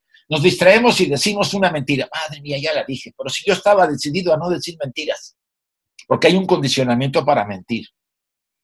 Entonces, poco a poco te vas volviendo atento. Eso también Krishnamurti dice. Usted observe, obsérvese cómo actúa y va a usted ir corrigiendo. Ah, no, no, va a ser eh, sencillo porque depende también del trabajo en, el pasado que hayan hecho, pero como decía eh, Ledwitter, quizá al final de nuestras vidas, cuando volteemos atrás y veamos todo lo que hemos vivido, lo único que habremos aprendido, lo único que habrá sido hecho con valor, que, valió la pena, es haber intentado ser mejores seres humanos.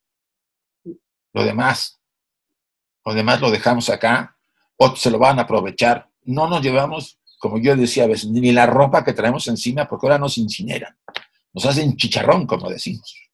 Entonces, si nada, no hay nada más que la experiencia de crecer y ser mejor, que va a valer al final, en el tratamiento y en el trabajo con gente, que está moribunda, se encuentra mucho ese tema.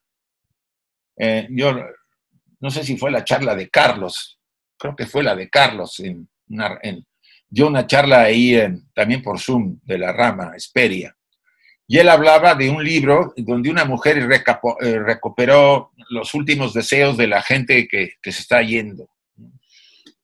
Creo que me acuerdo de alguno de ellos que decía, si yo pudiera, eh, viviría los sueños que dejé de vivir, que es lo que más me pesa ahorita en mi vida.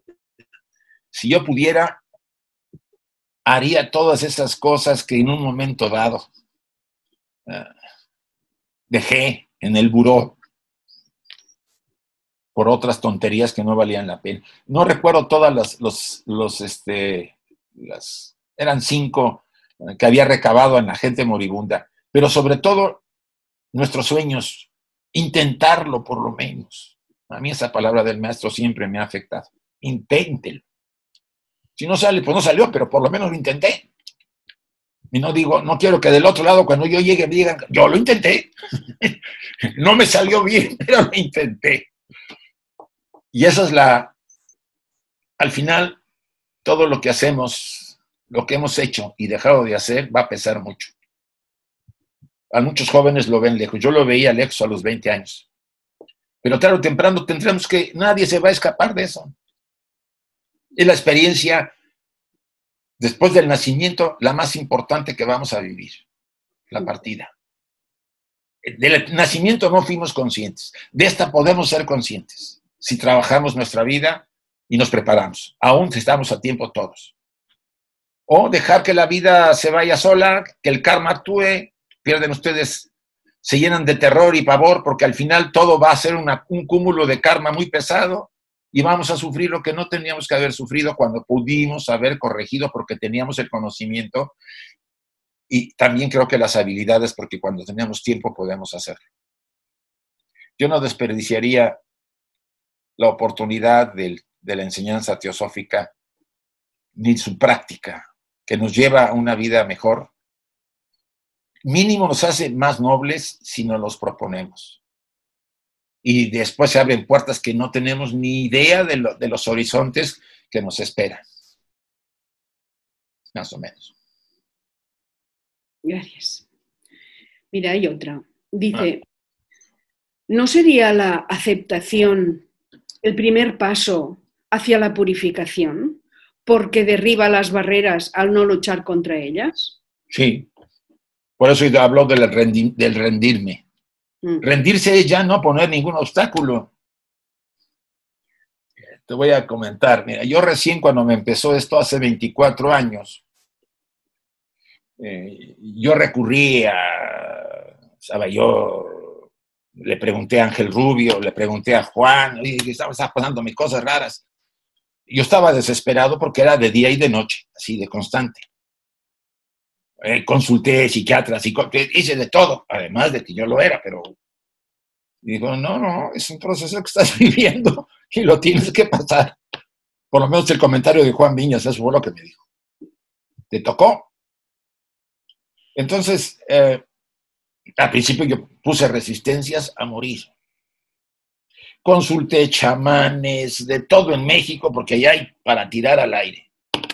Y todos me decían, no, no sabemos, creo que eso es algo que usted tiene que vivir. Al menos al final fue todo eso.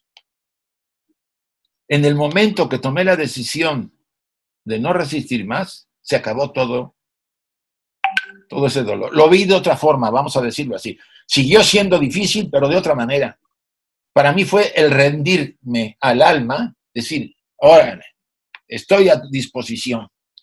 Haz lo que tú quieras en este sentido, porque no pongo más obstáculos, ni voy a poner más condiciones, ni nada por el estilo.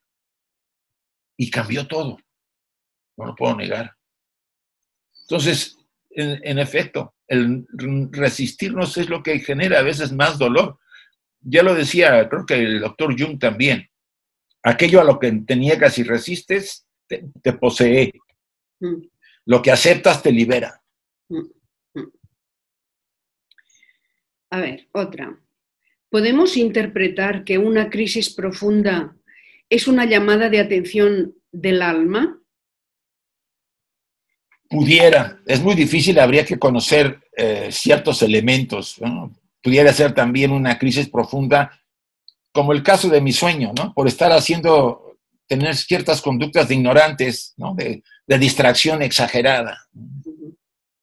O sea, hay una combinación de elementos dentro de, la, de los sueños, sabemos que hay grandes sueños, pero también hay sueños mm, generados por nuestra estupidez, si podemos llamarlo así.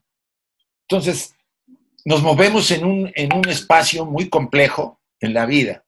Y si de remate no somos conscientes, pues todo lo que estamos agregando a la, bolsa que traemos eh, va acrecentando el karma y sacando poco.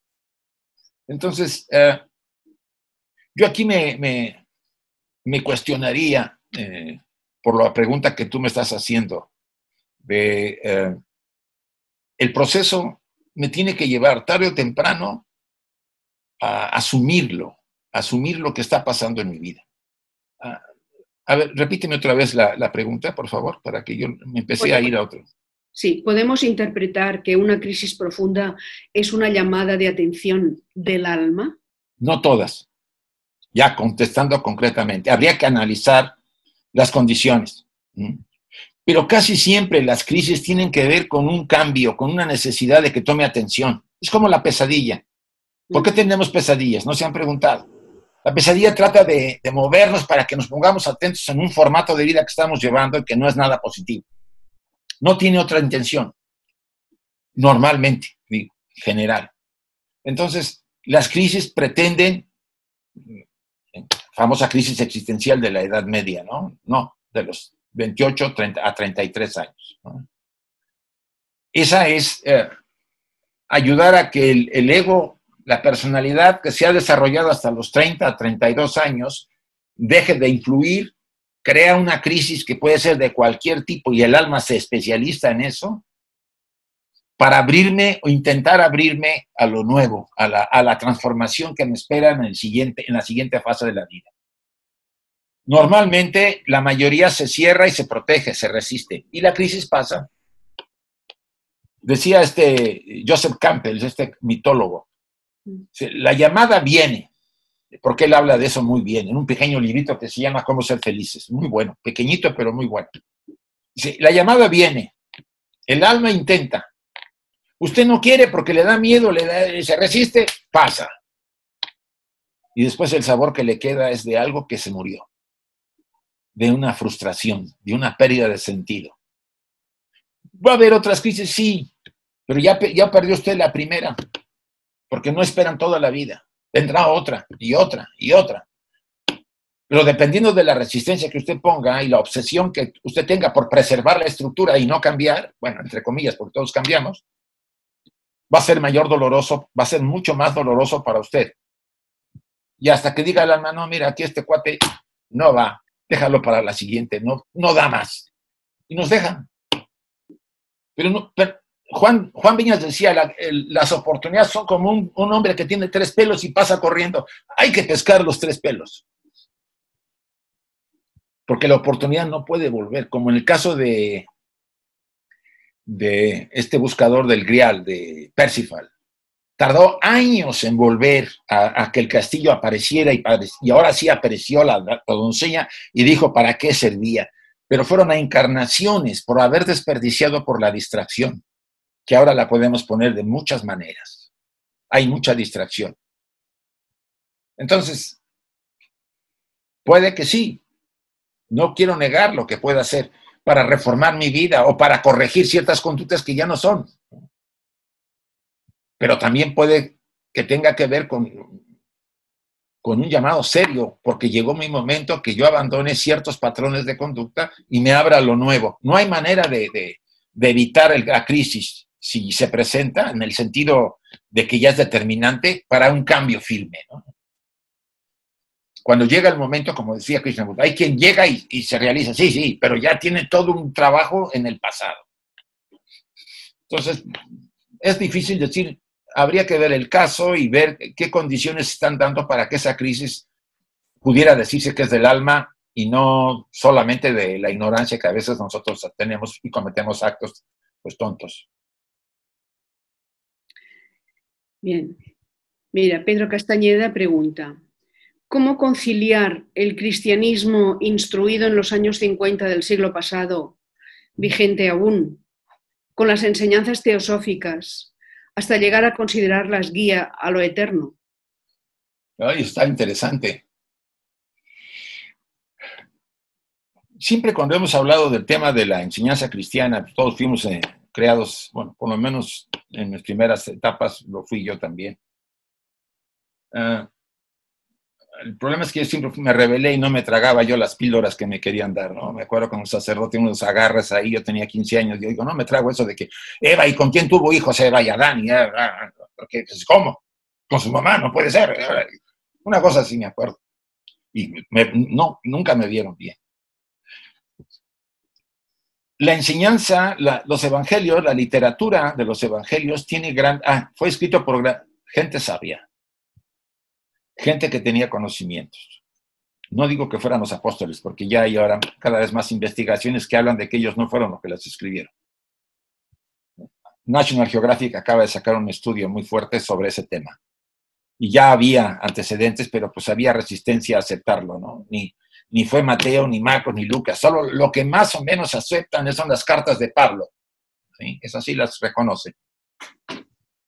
Entonces, una cosa es la estructura que se formó por el hombre. Blavatsky no se, se, despacha durísimo en los comentarios de 1889 contra la estructura. Bueno, ella hablaba en Inglaterra contra los, la estructura este, presbiteriana. No, ¿cuál es la religión allá? La, la este, anglicana. Anglicana. Pero ella decía, todos. Dice, alteraron totalmente la enseñanza porque antes habían misterios menores y misterios mayores en la enseñanza cristiana. Venía de las tradiciones paganas. Se cambió los concilios, se modificaron, etcétera, etcétera. Se, tomaron cosas que no eran válidas, que la, practicaba, decía Blavatsky hace un poco, si la chusma, la, la gente de la calle. Esas enseñanzas fueron las que integraron y las esencias ocultas, o sea, las esencias fuertes, las dejaron fuera o no las metieron porque habría que transformar a la gente y no era la pauta por ahí. Ella habla así en los comentarios y más fuerte que no es el caso mencionarlo. Entonces, si nosotros encontramos que todo este proceso mm, ha, recibido una alteración muy fuerte, dice, ella dice, se engaña, se ha engañado al creyente. El caso de, de Satán y Luzbel es otra, otro de los ejemplos que no entro al caso porque lleva mucho tiempo explicar. Eh, ¿Qué podemos hacer para adaptar? Hay mucha enseñanza eh, en los evangelios que se empareja a, las grandes, a los grandes valores de las tradiciones como del budismo, del hinduismo, etc. Incluso hay estudios, creo que Nisi Simbelo pone Blavatsky una comparación del, cristianismo y el budismo podemos encontrar las pautas. Ninguna de las dos habla que mates a tu prójimo. Ninguna de las dos nos habla de que nos odiemos y guardemos eh, distancia con los que no son de nuestra raza, etcétera, etcétera. hay muchos puntos en común, pero para eso debe haber una transformación. para mí, si yo te lo, le comento al que ha hecho la pregunta, para mí es la religión es un escalón no es el fin. La religión sirve sí, ayuda al pueblo, a la gente a darle valores éticos, ¿no? De, de, andarnos matando para quitarle al vecino sus cosas. Ahora pues ya me la pienso porque me puede tocar infierno, aunque sea por amenaza. Algo fue conseguido. Pero de eso se puede seguir adelante, sí, porque los místicos lo han demostrado de todas las tradiciones religiosas. El místico escapa del ortodoxo, va a la suya, va en libertad. Por eso le costó la cárcel a San Juan de la Cruz y a Santa Teresa y, a San Francisco y a Líban y a, todos los místicos que conocemos del cristianismo como en otras tradiciones también. El ortodoxo no permite que, que tú vayas por ti porque no te controla y si no te controla eh, lo siente como un atentado y la liberación, y el desarrollo nos pide la libertad de ser libres. La monada es libre, el espíritu es libre, no puede ser constreñido ni por una ideología. Como dice Blavatsky, si usted estudia teosofía y no, no, la, no la demuestra en su vida, no me haga caso, como el Buda lo decía también. Tiene que vivirlo, tiene que practicarlo y demostrarlo la práctica. Para mí tendría que ser esa, esa pauta la, la enseñanza cristiana. Que volviera el feligrés a practicar la enseñanza directa de amor y compasión del Maestro Jesús.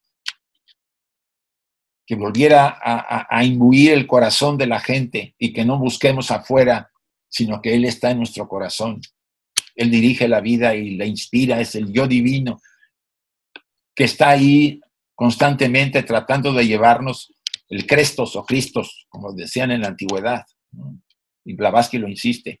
Es una palabra sacada de las antiguas tradiciones paganas, ¿no? de las iniciaciones.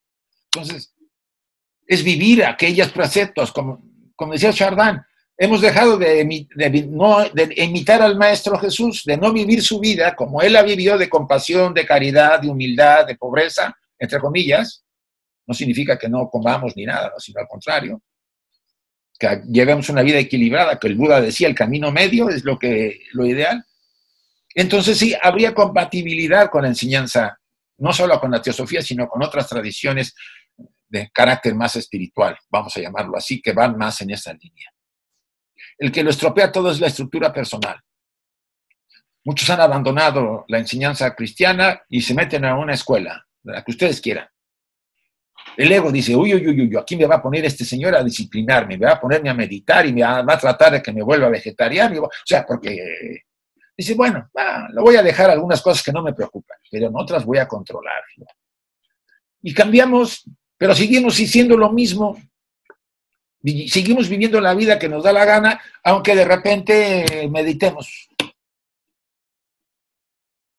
El tema está ahí. Es la personalidad la que, viendo la amenaza que puede recibir de, una, de un cambio de vida, de una enseñanza, la empieza a, limitar, a, a, reducir para que no le afecte tanto.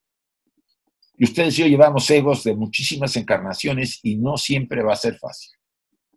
Cuando en su casa les digan a ustedes, o la, la teosofía a nosotros, ¿qué le van a decir a sus familiares?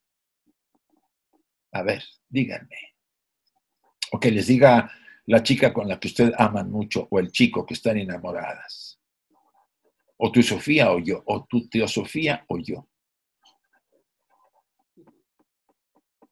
O el sacerdote también le puede decirlo. Ah, me he enterado que estás metido en las reuniones que hacen ese grupito de teósofos que no sé, que están excomulgados, que no sé qué, no sé cuándo. Bueno, no están excomulgados, pero se enseña el demonio. ¿Qué van a hacer? ¿Van a salir corriendo? o se van a mantener. Porque sí, cumplió la religión su, función, sí, pero hay, hay, hay un horizonte inmenso lo que nos espera más allá de la religión. Tiene una función, yo lo acepto, hasta ahí lo acepto, pero no es el final. Quizá el principio para muchos, cuando han, han vivido la práctica y se vuelven devotos, hay gente religiosa muy sincera y devota y valiosa pero ellos sí van a notar ustedes como la Madre Teresa que se fue desviando y no le gustaba mucho al Vaticano cómo era. O sea, los que salen por lo suyo a ser mejores seres, salen del, juego y los empiezan a, querer traer al modelo ortodoxo. Una respuesta ya concreta. Vivir las enseñanzas básicas del el Maestro Jesús en los Evangelios de amar a tus enemigos. Quiero ver a varios que amemos a nuestros enemigos, que le demos la mejilla cuando nos golpean. Si me digo cristiano, ¿por qué no lo hago? O sea, estoy yéndome quizá a extremos, pero lo que quiero decir es intentar ser mejor ser humano y eso no está peleado con la teosofía y tampoco con la enseñanza cristiana.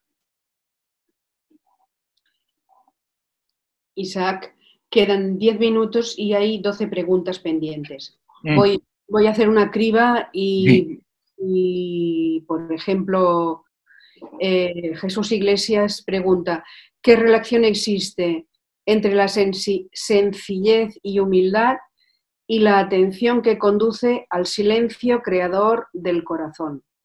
¿Te la vuelvo a repetir? Sí, por favor. ¿Qué relación existe entre la sencillez y humildad y la atención que conduce al silencio creador del corazón. Es interesante. La humildad, si es, bueno, el que dice que es humilde no es humilde, ¿no? La humildad no se, no se, no se pregona, se tiene que vivir. La sencillez y la humildad, si son auténticas, es una disminución de la influencia de la personalidad, de la estructura egoica. Entonces nos conduce de una manera más libre hacia, hacia lo que me dijiste, hacia qué, hacia el... Hacia el silencio. Al silencio. No, me hay, no hay ruido, que es lo que yo no, no sé si les ha ocurrido cuando tratamos de meditar sin, sin tener la mente activa. Mm.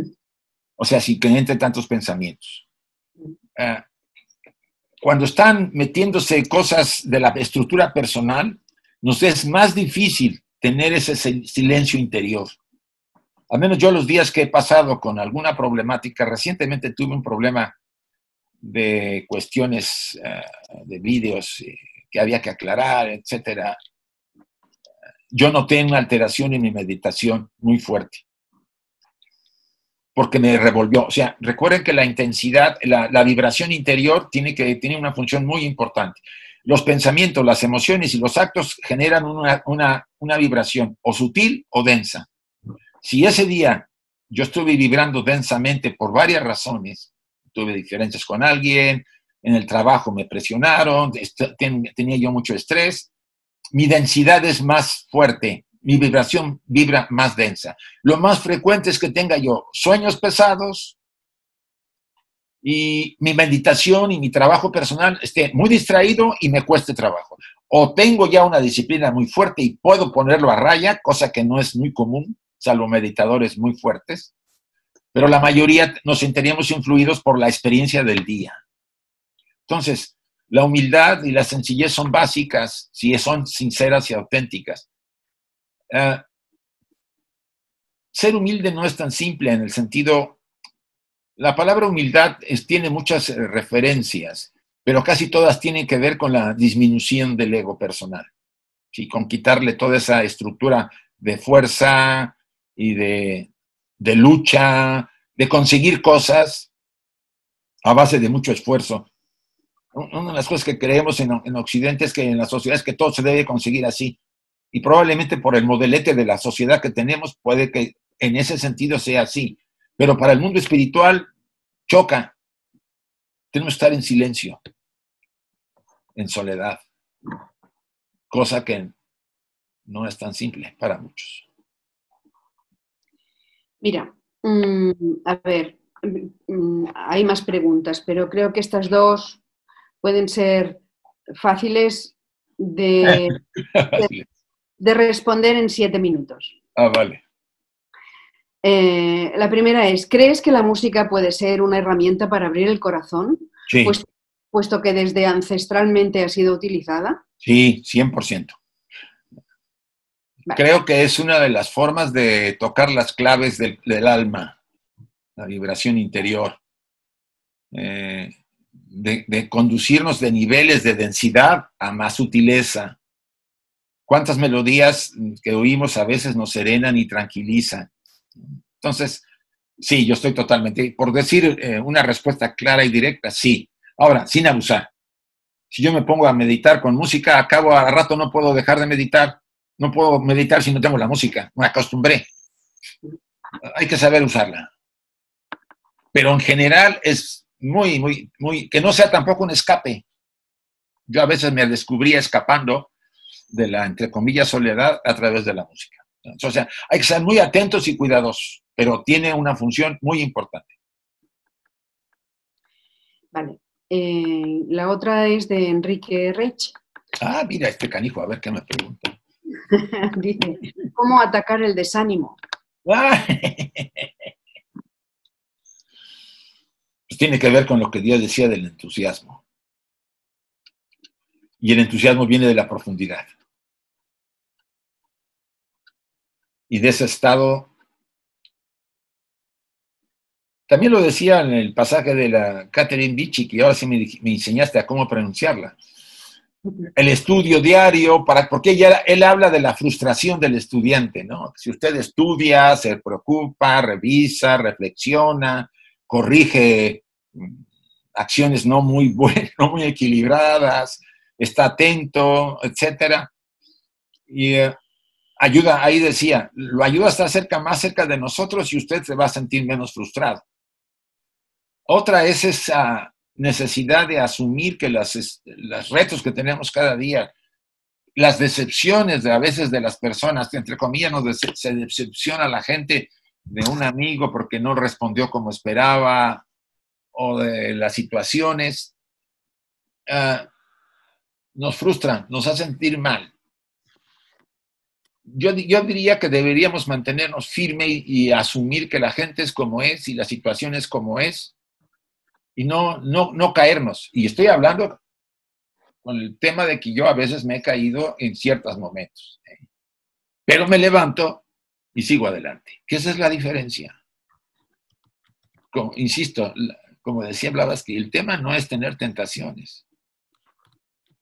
Qué bueno que las tenemos, porque las vamos a vencer. El que no las tiene, no tiene. No sé para qué está ahí, dice Blavatsky. Algo así dice. Pero el que las tiene y las vence, ese es el que vale.